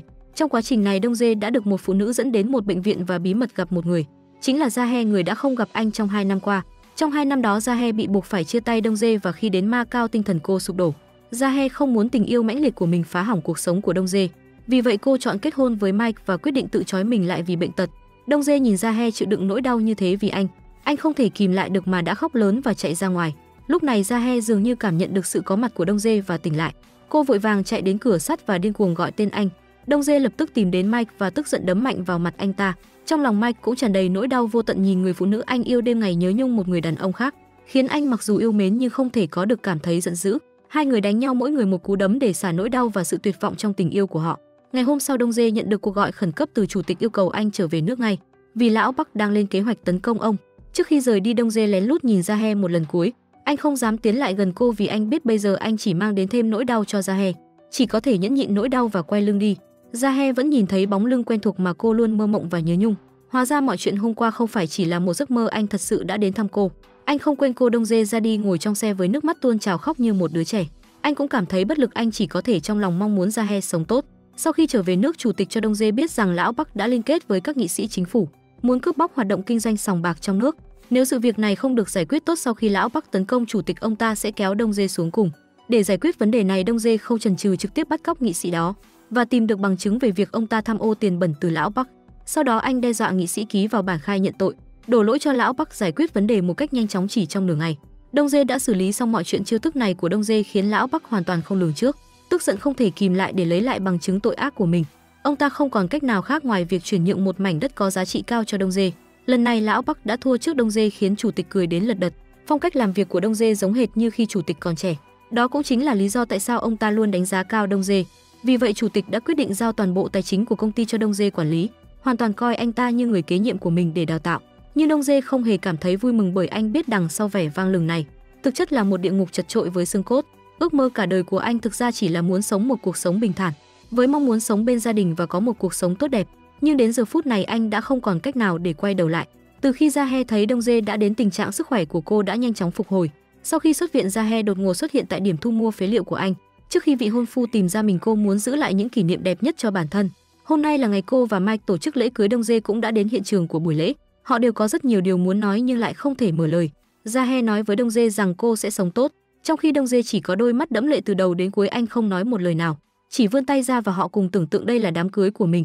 Chủ tịch không thể chịu nổi khi chứng kiến cảnh tượng đau lòng này, nhưng vì muốn con gái mình cưới một người đàn ông tốt, chủ tịch buộc phải làm như vậy. Tuy nhiên cuộc sống của con gái ông không diễn ra theo hướng ông mong đợi. Trong một khoảnh khắc 5 năm đã trôi qua, dưới sự hướng dẫn của chủ tịch Đông Dê đã trở thành một nhân vật quan trọng không thể xem thường trong giới casino. Trong khi Đông Su cuối cùng cũng đã trở thành một kiểm sát viên có quyền hạn thực sự. Anh em hai người một người theo con đường chính nghĩa còn người kia lại đi con đường trái ngược. Không biết sau này sẽ diễn ra kết cục như thế nào. Còn Ra He sau 5 năm cô đã trở về nước, bởi vì Mike thất bại trong cuộc chiến tranh giành quyền thừa kế gia đình. Để đảm bảo sự an toàn Jahe buộc phải quay về nhà mẹ để tạm trú. Điều này làm cho chủ tịch cảm thấy rất phiền muộn. Con gái ông không trở thành như ông đã tưởng tượng. Mặc dù đã trôi qua 5 năm nhưng tình cảm giữa Đông Dê và Jahe vẫn còn đó. Nhưng khi gặp lại nhau họ không hồi hộp hay phấn khích như trước, mà giống như những người lạ quen thuộc nhất chỉ đơn giản chào hỏi nhau. Tuy nhiên từ đôi mắt ẩm ướt của cả hai có thể thấy sự nhớ nhung sâu kín giữa họ vẫn còn đó. Đông Su vào ngày đầu tiên nhận chức viên kiểm sát viên, đã chuẩn bị thực hiện hành động đối với lão Bắc. Trong lúc anh trai cảm thấy hài lòng và nhắc nhở em mình phải cẩn thận từng bước một, lão Bắc đang tức giận về những hành động của Đông Su. Sự xuất hiện của một người khiến ông ta cảm thấy sợ hãi hơn. Ngày hôm đó Đông Dê cùng một người phụ nữ bí ẩn đã tổ chức buổi tiệc khai trương, cho dịch vụ ngân hàng mà họ phụ trách lão Bắc cũng đã đến dự buổi tiệc. Tuy nhiên khi ông nhìn thấy người phụ nữ bí ẩn đó, ông ta sợ hãi đến nỗi chân run rẩy và nhanh chóng bỏ chạy, bởi vì người phụ nữ bí ẩn đó chính là cô Giang người bạn gái cũ mà ông ta từng từ bỏ và tổn thương. Cô Giang đã chạy theo lão Bắc hóa ra người đàn ông trước mắt. Cô đã từng giết chết đứa con trong bụng cô và bỏ cô giữa hoang địa. Cô Giang người đã thừa kế tất cả tài sản của chồng quay trở lại lần này để trả thù cho những gì đã xảy ra trong quá khứ, muốn phá hủy mọi thứ của lão Bắc. Mặc dù trước mối đe dọa từ cô Giang lão Bắc vẻ ngoài trần tĩnh, nhưng bên trong ông ta cảm thấy có một cuộc khủng hoảng. Không ngờ cuộc trò chuyện của họ đã bị Min Hun người đang trốn nấp ở một bên nghe lén một cách vô tình. Anh không thể tin rằng người cha mà anh tự hào đã làm ra những việc tàn nhẫn như vậy. Trở về sau đó để ngăn chặn sự trả thù của cô Giang Lão Bắc quyết định bán đi công ty điện tử thuộc tập đoàn của mình. Thu xếp vốn để phòng ngừa bất chắc và ông cảm thấy mình phải tiêu diệt cô Giang khỏi thế giới này mới có thể yên tâm. Tuy nhiên việc Lão Bắc bán công ty điện tử đã tạo ra một cơ hội cho Đông Dê. Anh ta thương lượng với cô Giang để mua lại công ty điện tử đó, dùng nó như một bệ phóng để dung chuyển nền tảng của tập đoàn Thái Tinh. Không ngờ quyết định của Đông Dê đã tạo ra một xung đột lợi ích với chủ tịch, vì chủ tịch cũng đặt mắt đến công ty điện tử mà lão Bắc muốn bán. Nhìn vào tình hình hiện tại Đông Dê đã trở thành một đối thủ mạnh mẽ trực tiếp của chủ tịch. Điều này khiến lòng chủ tịch cảm thấy rất không hài lòng.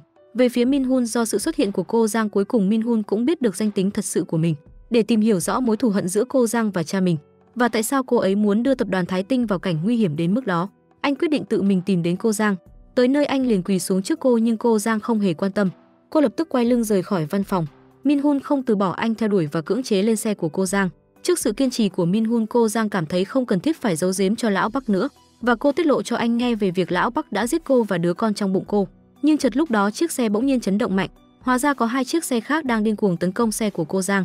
Cô biết rằng đây chính là hành động của lão Bắc. Trong tình huống cấp bách này, cô Giang tiết lộ một bí mật mà chỉ có mình cô biết. Ngay cả khi sắp chết cô Giang cũng muốn Min Hun biết danh tính thật sự của mình. Sau đó cô tiết lộ sự thật rằng Min Hun không phải là con trai ruột của lão Bắc. Trong lúc Min Hun vẫn đang không thể tin vào sự thật này, chiếc xe họ đang ngồi bị đâm và lật ngửa 980 độ. Trước khi dừng lại cô Giang bị thương ở đầu và mất ý thức, trong khi Min Hun chỉ bị thương nhẹ và vẫn tỉnh táo. Lúc này một người đàn ông xuất hiện bên ngoài cửa sổ. Min Hun nhận ra đó là một trong những thuộc hạ đáng tin cậy bên cạnh cha của mình.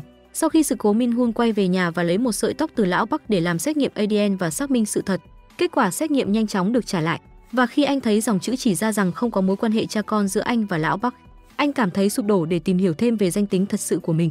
Min Hun quyết định gặp cô Giang lần nữa nhưng cô Giang không muốn tiết lộ bất cứ điều gì. Tuy nhiên Min Hun vẫn đoán ra sự thật đó là cô Giang định giết chết đứa con mới sinh của ông ta, nhưng vì không nỡ tay trong nỗ lực trả thù lão Bắc đã đổi con trai của người nào đó với con trai của lão Bắc. Ngay sau khi sinh tại bệnh viện, và người duy nhất cùng anh chào đời vào cùng một ngày tại cùng một bệnh viện là Đông Su. Điều này có nghĩa là Đông Su mới chính là con trai ruột của lão Bắc. Và khi mọi chuyện đã đến lúc này cô Giang cũng thừa nhận. Cô nói rằng tiết lộ bí mật này hoặc không phụ thuộc vào anh. Điều này khiến Min Hun chìm vào nỗi đau sâu sắc. Người phụ nữ từng bị anh lăng mạ và tổn thương đến như vậy hóa ra lại là mẹ ruột của anh. Còn người cha đã sống cùng anh suốt hàng 10 năm lại chính là kẻ thù giết cha của mình. Anh không thể công khai bí mật này để mất tất cả những gì mình đang có ngay bây giờ. Do đó anh quyết định giành lấy quyền thừa kế của tập đoàn khỏi tay lão Bắc. Ở bên gia he cô nhận được di chúc của Mike tức thì hai chân mềm nhũn đứng tại chỗ. Trong thư anh bày tỏ sự xin lỗi sâu sắc với gia He vì anh ta biết gia He và anh ta ở bên nhau chưa bao giờ hạnh phúc. Lòng tham của anh ta đã tạo ra bất hạnh cho cô, nên anh ta hy vọng Đông Dê có thể tiếp tục bảo vệ gia He. Trở về nhà sau đó Đông Dê nhận được tin tức về cái chết của Mike, bị anh trai cùng cha khác mẹ của mình nổ chết trên thuyền. Đông Dê tức thì đỏ mắt dù Mike và người phụ nữ mình yêu nhất đã kết hôn, nhưng hai người cũng là bạn thân nhất chủ tịch rơi vào một trạng thái bất lực sâu sắc. Còn Jahe lại chỉ trích cha mình nếu không phải cha ép Mike đi tranh giành quyền thừa kế gia tộc. Mike cũng không chết trong cuộc chiến tranh giành gia tộc này. Chủ tịch hoàn toàn tức giận ông ta muốn thuê người giết chết anh trai của Mike. Đông Dê muốn can ngăn anh sợ Jahe sẽ vì thế rơi vào nguy hiểm, nhưng chủ tịch cứng đầu không nghe bí mật triệu tập các ông trùng băng đảng lớn. Lần này ông ta không chỉ muốn báo thù cho Mike, mà còn muốn nhân cơ hội này loại bỏ Đông Dê không nghe lời. Vào chiều cùng ngày chủ tịch thuê người giết anh trai của Mike trong nhà vệ sinh, còn người có danh nghĩa báo thù cho Mike lại đổ lên Đông Dê. Hôm nay chính là ngày vui của em gái Đông Dê. Đông Dê đã cử rất nhiều người canh gác để tránh khỏi rắc rối. Lúc này Min Hun đã đến nơi diễn ra đám cưới, nhưng họ chưa kịp nói vài câu những người muốn trả thù cho anh trai của Mike đã xông vào đám cưới. Trong số họ một người đã rút ra một con dao dài 80 cm đâm thẳng vào chủ tịch. Tuy nhiên chủ tịch đã chuẩn bị trước và dễ dàng ngăn chặn được cuộc tấn công này. Sau khi đuổi đám người đó đi Đông Dê nghi ngờ rằng lão Bắc đã liên minh với bên Mike. Nếu không Min Hun sao có mặt ở đây? Min Hun đầy oan ức nói với Đông Dê rằng mình không liên quan gì đến sự việc hôm nay vì làm sao anh ta có thể phá hoại đám cưới của chính em gái mình. Lời này khiến Đông Dê bối rối và anh cảnh báo Min Hun nếu không nói rõ ra thì đừng nghĩ đến việc trở về sống sót. Anh ta dẫn Min Hun ra bờ sông rồi lại đánh Min Hun một trận anh muốn biết lời này là ý gì. Đây là một sự thật đau lòng và khó chấp nhận cho một người đàn ông. Người em trai mà anh đã nuôi nấng và dành cả cuộc đời này hóa ra lại là con trai ruột của kẻ giết cha. Còn người con trai mà anh luôn ghét cay ghét đắng lại chính là em trai ruột của mình. Min Hun không giữ bí mật trước Đông Dê và đã kể hết sự thật rằng anh ta chính là em trai của Đông Dê. Người gây ra tình hình này chính là cô Giang người muốn báo thủ lão Bắc. Nếu không tin anh có thể tìm cô Giang để xác minh. Khi Đông Dê nghe thấy cô Giang thừa nhận sự thật từ lời kể của cô, anh ta đau khổ và tức giận lao tới định xử lý cô Giang. Muốn giết cô ngay tại chỗ oán trách cô đã sử dụng số phận của người khác để đạt được mục tiêu báo thù của mình. Bởi vì cô đã khiến gia đình anh những người vô tội phải chịu đựng nỗi đau không thể so sánh được. Tuy nhiên cuối cùng Đông Dê vẫn không thể đánh cô Giang, nhưng anh cảnh báo cô phải giữ bí mật này cho đến chết nếu không cô sẽ không sống sót. Sự thật tàn nhẫn này khiến Đông Dê hoàn toàn sụp đổ khóc nức nở. Anh không chỉ không biết làm thế nào để đối diện với Đông Su và Min Hun trong tương lai, mà cả những nỗ lực của anh trong suốt hàng 10 năm qua cũng đã dành hết cho con trai của kẻ thù. Anh cảm thấy cuộc đời mình đã sống trong sự lừa dối không chỉ lãng phí tình cảm mà còn lãng phí cả cuộc đời. Cả gia đình đứng nhìn Đông Dê khóc mà không hiểu chuyện gì đã xảy ra. Vào lúc Đông Dê đau đớn nhất ở phía chủ tịch một vụ ám sát đã xảy ra, hóa ra là những thuộc hạ của anh trai Mike muốn trả thù. Tuy nhiên những vệ sĩ của chủ tịch đã kịp phát hiện và đến giải cứu nhưng Jahe lại bị bọn họ bắt làm con tin. Chủ tịch thông báo sự việc này cho Đông Dê bày tỏ rằng bọn bắt cóc yêu cầu một trong hai người, mình hoặc Đông Dê phải đánh đổi mạng sống để đổi lấy Jahe. Đông Dê cảm thấy sự đau đớn không chỉ vì sự việc này, dựa vào lòng biết ơn đối với chủ tịch suốt những năm tháng và tình cảm sâu kín dành cho Jahe anh biết mình phải đến cứu cô. Đông Dê biết rằng nếu anh đến có thể anh sẽ mất mạng. Trước khi ra đi anh đã gặp một người đó là vợ của Min Hun là Hanji và con trai của họ. Đông Dê muốn gặp cháu trai của mình. Khi gặp mặt đứa bé đã sử dụng một dấu hiệu chào hỏi mà Đông Dê quá quen thuộc khiến anh cảm động sâu sắc, bởi vì dấu hiệu đó là thứ được truyền lại từ người cha đã mất. Có vẻ như Min Hun đã công nhận danh tính thực sự của mình. Nếu không anh sẽ không truyền lại dấu hiệu biểu thị danh tính này cho con trai. Hóa ra Hanji cũng đã biết Min Hun chính là em trai của Đông Dê họ đều rất lo lắng về sự thật này. Nếu Đông Su biết chắc chắn sẽ không thể chịu đựng được, bởi vì hiện tại Đông Su và cha đẻ của anh đang đối mặt với nhau như hai con dao. Đây chính là điều khiến Đông Dê cảm thấy khó khăn và đau đớn, nhưng vào thời điểm này không có cách nào tốt hơn để giải quyết vấn đề này. Đông Dê để tránh cho nhiều người bị tổn thương đã phải nhờ Hanji tạm thời không tiết lộ bí mật này. Sau đó Đông Dê cũng đã gặp em gái của mẹ mình anh sắp rời xa một thời gian để cứu Jahe. Lo lắng về việc gì có thể xảy ra giữa Đông Su và Min Hun nên đã tiết lộ bí mật cho bà. Hy vọng bà sẽ chăm sóc gia đình khi anh vắng mặt. Cô gì cũng không thể chấp nhận được sự thật đau lòng này. Sau khi đã giải quyết mọi chuyện Đông Dê đã gặp những kẻ bắt cóc để đổi lấy Jahe. Dù người mình yêu đã là vợ của người khác nhưng anh vẫn muốn giữ lời hứa đã hứa với Jahe trước đây để bảo vệ cô bằng cả mạng sống của mình. Ở bên phía Jahe một người bí ẩn tìm đến cô bị giam giữ và nói cho cô biết chủ tịch chắc chắn sẽ không đến cứu cô người đến chỉ có thể là Đông Dê. Vì tất cả này đều là chủ tịch sắp đặt trước mục đích là để loại bỏ Đông Dê. Và lý do nói cho Jahe biết những điều này là vì Đông Dê đã từng cứu mạng anh ta. Jahe đã rơi vào sự kinh ngạc sâu sắc nhưng cô vẫn không tin cha mình sẽ lợi dụng mình để loại bỏ Đông Dê. Nhưng khi cô nhìn thấy Đông Dê một mình xuất hiện trên bến tàu, Jahe hoàn toàn hoảng loạn cô không ngừng vùng vẫy ra hiệu cho Đông Dê mau đi. Và đúng lúc này tiếng còi cảnh sát đột ngột vang lên. Một đám xe cảnh sát kéo đến nhanh chóng hóa ra Đông Su để ngăn anh trai mình đi đến cái chết. Đã sử dụng quyền lực của mình lợi dụng thời gian anh trai đang thỏa thuận để bắt những kẻ buôn lậu giúp anh trai cứu ra he. Làm sao những tên bắt cóc có thể đầu hàng dễ dàng hai bên bắt đầu một cuộc giao tranh ác liệt. Đông Dê thấy ra he trong bão đạn sắp bị một nhóm người bắt đi lần nữa. Anh không chần chừ liều mình lao vào Đông Su cảm thấy rất lo lắng yêu cầu cảnh sát dừng bắn. Nhưng tiếng nói của anh đã bị chôn vùi trong tiếng súng liên tiếp. Rất không may Đông Dê bị bắn vào cánh tay và ngã xuống. Cuối cùng nhờ sự tận tâm cảnh sát đã thành công trong việc chặn đứng con tàu và cứu Đông Dê và Gia He. Khi biết được sự thật Gia He rất ăn năn với Đông Dê không để Đông Dê vì mình mà bị thương nữa. Cô quyết định giữ khoảng cách với Đông Dê chúng ta không nên gặp nhau nữa. Còn Đông Dê thì hiểu rõ mọi chuyện anh ta nói chỉ cần là điều Gia He muốn anh ta làm anh ta đều sẽ đồng ý. Dù là bảo vệ cô ấy hay rời xa cô ấy nhưng anh ta chỉ có một yêu cầu, đó là để Gia He sống tốt nói xong liền quay lưng rời khỏi phòng. Và đúng lúc này bác sĩ gọi Đông Dê vào phòng làm việc hỏi anh ta có biết Gia He đã mang thai không. Lần này suýt nữa vì giật mình mà sảy thai và nhắc nhở anh ta sau này phải chú ý hơn.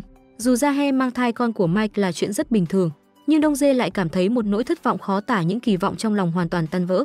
Người đàn ông để cứu con gái của chủ tịch bị bắt cóc một mình đi đổi mạng sống của mình. Nhưng khi con gái đã được cứu ra chủ tịch lại ngắm súng vào anh ta, vì Đông Dê và ông ta tranh giành quyền thu mua Thái Tinh. Ông ta cho rằng Đông Dê phản bội ông ta trực tiếp muốn cho người bắn chết Đông Dê. Nhưng đúng lúc quan trọng này ra he kịp đến, Cô nói với cha mình người phản bội là chính mình là mình nhờ người nói cho Đông Dê biết giá thầu. Cô liền cầm lấy dao găm nếu ông không để Đông Dê đi cô sẽ tự kết liễu mình ngay lập tức.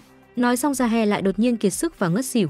Đông Dê một cái ôm lấy Ra He nói cho chủ tịch biết chuyện cô mang thai con của Mike. Đây là máu mủ của Mike, lời này vừa ra chủ tịch cuối cùng cũng vừa lòng. Đồng thời ở phía Min Hun một phút sơ ý anh ấy và Hanji đã thảo luận về vấn đề xử lý danh tính hiện tại của họ. Không ngờ cuộc trò chuyện của họ vô tình bị mẹ anh nghe thấy. Thông tin này khiến bà cảm thấy như bị sét đánh không thể chấp nhận sự thật này. Bà không bao giờ nghĩ rằng Đông Su mới chính là con ruột của mình. Hai gia đình với số phận gắn liền với nhau vô tình gặp nhau ở cùng một khách sạn. Không ngờ con của Min Hun ngây thơ khi thấy Đông Dê đã sử dụng dấu hiệu tay để chào họ, làm Han Ji hoảng sợ và nhanh chóng ngăn lại. Trong nhóm này chỉ có Mi Sun lão Bắc và Đông Su không biết sự thật, còn lại mọi người nhìn nhau đều thấy sự phức tạp và đau đớn trong mắt họ. Phụ nữ không thể nào tưởng tượng được rằng người con trai mà bà yêu thương suốt hơn 30 năm lại không phải là con ruột của mình, còn người con trai ruột thực sự lại sống cuộc sống khó khăn ngay bên cạnh bà. Anh ấy thực sự không biết gì cả và trong tình trạng không biết chuyện gì đang xảy ra. Anh đã chống lại và cố gắng giết chết người cha ruột của mình. Đây quả là một sự thật tàn khốc để làm rõ nguyên nhân dẫn đến mọi chuyện. Mẹ Min Hun đã tìm đến cô Giang để đối chất. Cô Giang không giấu giếm cô đã kể lại cách mà lão Bắc đã tàn nhẫn hành hạ cô và cả việc hắn giết chết đứa trẻ trong bụng cô. Cô nói rằng mọi chuyện này đều là lỗi của lão Bắc và đó cũng là sự trả thù của cô đối với hắn. Mẹ Min Hun người ban đầu đã cảm thấy ghê tởm trước những hành động tàn nhẫn của chồng mình, giờ càng thêm căm ghét hắn tất cả vì người đàn ông ác quỷ này. Những tội lỗi mà hắn gây ra khiến cô phải chịu đựng nỗi đau khổ như vậy. Cô hét lên trước mặt lão Bắc biểu lộ sự tức giận cháy bỏng trong lòng, bởi vì hắn không chỉ phá hủy cuộc đời của con trai mình mà còn cả cuộc đời của chính cô. Một số bí mật một khi đã bị lộ sẽ như một dòng lũ vỡ đập tràn ra không kiểm soát. Ngày đó Misun vô tình nghe được cuộc trò chuyện giữa em gái và Đông Dê. Cuối cùng bà cũng biết được bí mật động trời này đã được giấu đi suốt gần 30 năm. Bà cảm thấy như thế giới đang sụp đổ trước mắt. Đông Su vẫn luôn là người con trai bà đặt nhiều kỳ vọng. Không ngờ đứa con mà bà đã cực nhọc nuôi nấng suốt 30 năm, không chỉ không phải là con ruột của mình mà còn là con của kẻ thù đã giết chết chồng mình. Mang trong mình cơn giận dữ lớn, Misun liền lao vào văn phòng của cô Giang. Cô không muốn tin rằng tất cả những gì đang diễn ra là sự thật và cho rằng cô Giang đang nói láo, nhưng cô Giang khẳng định mọi chuyện đều là sự thật. Misun không thể kiểm soát nổi cơn giận trong lòng lao tới túm tóc cô Giang và đánh cô. Lúc này sự sốc và đau đớn mà Misun phải chịu có lẽ nặng hơn gấp ngàn lần so với mẹ Minhun. Bởi Đông Su đã là hy vọng của Misun trong 30 năm qua bây giờ lại trở thành con của kẻ thù. Cú sốc này khiến tinh thần Misun hoàn toàn sụp đổ. Khi gặp Đông Su cô lập tức mắng anh là kẻ vô lại, không phải là con của mình mà là con ruột của ác quỷ lão Bắc. Nhưng ngay sau đó, bà lại ân cần hỏi thăm anh và yêu cầu em gái nhanh chóng chuẩn bị bữa ăn cho Đông Su. Rồi trong lúc nói chuyện, bà bất ngờ ngất đi. Mẹ vì chịu quá nhiều cú sốc dẫn đến hoảng loạn, tạm thời gây ra tâm thần hoảng loạn. Nhưng Đông Su cảm thấy những lời mẹ nói chắc chắn không phải là vô căn cứ. Anh liên tục đòi Đông Dê phải nói rõ sự thật liệu những gì mẹ nói có phải là sự thật hay không. Mọi chuyện đã đến mức này, có một số việc rõ ràng là phải đối mặt. Đông Dê không còn giấu giếm nữa nói với anh rằng mọi điều mẹ nói đều là sự thật. Anh chính là con ruột của lão Park. Đông Su suy sụp chạy vào phòng bệnh và giật một sợi tóc của Misun. Anh muốn chứng minh tất cả những điều này chỉ là lời nói dối, nhưng sự thật là sự thật khi Đông Su nhìn thấy kết quả trên giấy, chứng minh rằng anh không hề có mối quan hệ máu mủ gì với Misun. Đôi chân anh run rẩy và anh ngồi sụp xuống trên cầu thang. Đây là cảm giác đau đớn gấp vạn lần so với việc mất đi người mình yêu thương, kẻ mà anh đã dấn thân chiến đấu đến bây giờ và muốn giết chết vì hận thù giết cha mình, hóa ra lại chính là cha ruột của mình. Lúc này anh không chỉ cảm nhận được nỗi đau khôn nguôi trong tim mình, mà còn cảm thấy sự đau lòng của anh trai và mẹ mình khi biết sự thật. Anh không biết mình sống với mục đích gì nữa. Đông Su điên cuồng chạy ra đường anh ta gào thét. Anh ta nhớ lại lão Bắc đè anh ta vào thùng nước bẩn, nhớ lại lão Bắc đánh anh ta nửa chết nhớ lại bị vu oan là kẻ giết người. Giờ đây người này lại là cha của mình, anh ta dường như mất đi ý nghĩa sống. Sáng sớm hôm sau Đông Su quyết định về nhà nhìn lại nơi này lần cuối. Đông Dê tức giận hỏi anh tại sao tối qua không về nhà, dù trong người anh có dòng máu nhà họ Đông hay không. Đông Su mãi mãi là em trai của mình, là con trai của mẹ, lời của anh trai khiến Đông Su chợt nghẹn ngào. Đông Su cậu bé hư, anh không đọc sách mà chạy đi đâu chơi. Anh không phải muốn học luật để báo thù cho cha sao anh ta một cái ôm lấy mẹ. Cũng chính lúc này anh ta quyết định không nghĩ nhiều nữa. Dù sao thì anh ta mãi mãi là con trai của mẹ. Ở phía bên kia, cô Giang đang chuẩn bị tạo ra một đòn đánh chí mạng vào lão Bắc để trả thù. Cô đã tiết lộ sự thật rằng Đông Su chính là con ruột của ông ta, và cô ấy đã mời ông đến một biệt thự ở ngoại ô để gặp mặt. Điều này khiến ông ta nghĩ rằng cô Giang muốn trả thù đến mức điên đảo và đang nói lắm lời, nhưng ông ấy vẫn đến đúng giờ tại nơi hẹn. Từ xa cô Giang đã sẵn sàng với khẩu súng của mình chĩa súng thẳng vào lão Bắc ngay khi ông ta vừa xuống xe. Cô ấy không chần chừ mà bóp cò. Đáng tiếc là sau tiếng súng nổ viên đạn chỉ trúng vào cánh tay của lão Bắc. Ngược lại ông ta đã nắm bắt và đánh cô Giang một trận tơi bời. Sau một hồi tra tấn lão Bắc cuối cùng cũng biết được sự thật về việc cô Giang đã đổi chỗ hai đứa trẻ ngày xưa. Lúc này cô Giang lại bắt đầu cười bởi vì cô đã mời Đông Su đến đây. Mục đích là để Đông Su có thể chứng kiến với đôi mắt của mình, xem cha ruột của mình là kẻ quỷ dữ như thế nào. Và để Đông Su một viên kiểm sát viên tự tay bắt giữ kẻ quỷ dữ này đang phạm tội. Cô muốn họ cha con giết lẫn nhau trước mắt mình. Đông Su đã bắt lão Bắc với tội danh giam giữ người trái pháp luật. Tuy nhiên trên đường về lão Bắc bắt đầu kể về quá khứ bất hạnh của mình nói rằng ông ấy từ nhỏ đã sống trong cô nhi viện và đã trải qua sự lạnh nhạt của thế giới này. Do đó để thành công ông ấy phải dùng mọi biện pháp đạt được vị trí mà nhiều người ngưỡng mộ. Ngày hôm nay ông ấy không hối tiếc những gì đã làm. Lão Bắc còn mặt dày tự hào Đông Su không hổ danh là con trai của ông ấy. Họ có dòng máu giống nhau để thành công họ sẵn lòng hy sinh mọi thứ, giống như anh ấy đã cố gắng học hỏi để trả thù cho cha mình. Đông Su nói mỗi người theo đuổi điều khác biệt. Lời nói của lão Bắc làm Đông Su cảm thấy như dao cắt vào tai. Anh dừng xe và đuổi lão Bắc ra khỏi xe lần này Đông Su quyết định tha cho lão Bắc. Để bù lại ân nghĩa sinh thành mình anh cảnh cáo rằng lần sau anh sẽ không từ tay, chắc chắn sẽ đưa tên quỷ dữ này ra ánh sáng pháp luật. Khi bí mật về danh tính giữa Đông Su và Min Hun bị phơi bày, đứa con mà người đàn ông này nuôi suốt 30 năm vô tình không phải là con đẻ của mình, nhưng người đàn ông này không chỉ không buồn lại còn cười rất tự hào, bởi con ruột của ông ta là một viên kiểm sát viên, mạnh mẽ hơn nhiều so với đứa con giả mạo yếu đuối và vô dụng này. Lão Bắc từ lâu đã thấy Min Hun phiền phức và ngay lập tức muốn đuổi cậu ta ra khỏi nhà, không cho Min Hun đưa con và vợ đi theo tất cả chỉ để dành chỗ cho con trai ruột của mình. Những tình cảm biết ơn vì việc nuôi dưỡng cuối cùng trong trái tim Min Hun cũng hoàn toàn tan biến. và anh ta tuyên bố sẽ cắt đứt mọi mối quan hệ với lão Bắc. Khi gặp lại họ sẽ trở thành kẻ thù không chung trời. Sau khi nói xong Min Hun rời nhà mà không nhìn lại, một người ẩn danh đã gửi cho Đông Su một gói hàng. Bên trong là quá trình chuyển khoản phi pháp một khoản tiền lớn và chi tiết đến từng bước. Chỉ cần theo dõi theo số tài khoản chắc chắn sẽ bắt được một con cá lớn. Thậm chí bộ trưởng cũng gặp khó khăn với một khoản tiền lớn như vậy. Không phải chỉ nói là có thể điều tra và hơn nữa nó liên quan đến những người ở tầng lớp cao nhất. Bộ trưởng yêu cầu Đông Su phải tìm hiểu rõ ràng ai đã gửi gói hàng này và mục đích của họ là gì. Đông Su nhớ lại vài ngày trước, lão Bắc nói sẽ tặng anh một món quà lớn trái tim anh không khỏi phức tạp. Trong lòng Đông Su anh muốn từ chối những gì lão Bắc tặng, nhưng khi đối diện với cơ hội nổi tiếng này anh lại rơi vào tình trạng đau đớn. Min Hun sau khi bị đuổi khỏi nhà lão đảo trở về nhà mẹ anh, rõ ràng là đã say rượu mẹ anh khi nhìn thấy đứa con trai đã bị kẻ thù nuôi nấng suốt 30 năm, không giữ được cảm xúc mà nước mắt lấp lánh trong đôi mắt. Min Hun quỳ xuống trước mẹ anh và nói con sai rồi, con sai rồi. Mẹ anh không đuổi Min Hun ra ngoài mà cho anh ta nằm trong phòng của Đông Su. Còn Đông Su đã mua hai con gà quay món mà mẹ anh yêu thích nhất dự định sẽ cùng mẹ ăn bữa cơm. Nhưng khi trở về nhà, anh phát hiện ra Min Hun nằm trong phòng dành cho mình tức giận không kìm lại được. Anh ta nắm lấy Min Hun đang ngủ say và hét lên, nhưng giờ đây anh ấy chính là Đông Su. Anh ấy muốn giành lại tất cả những gì thuộc về mình. Lời của Min Hun khiến Đông Su hoàn toàn sụp đổ. Anh không thể phản bác được bởi trong cơ thể anh là dòng máu dơ bẩn của lão Bắc.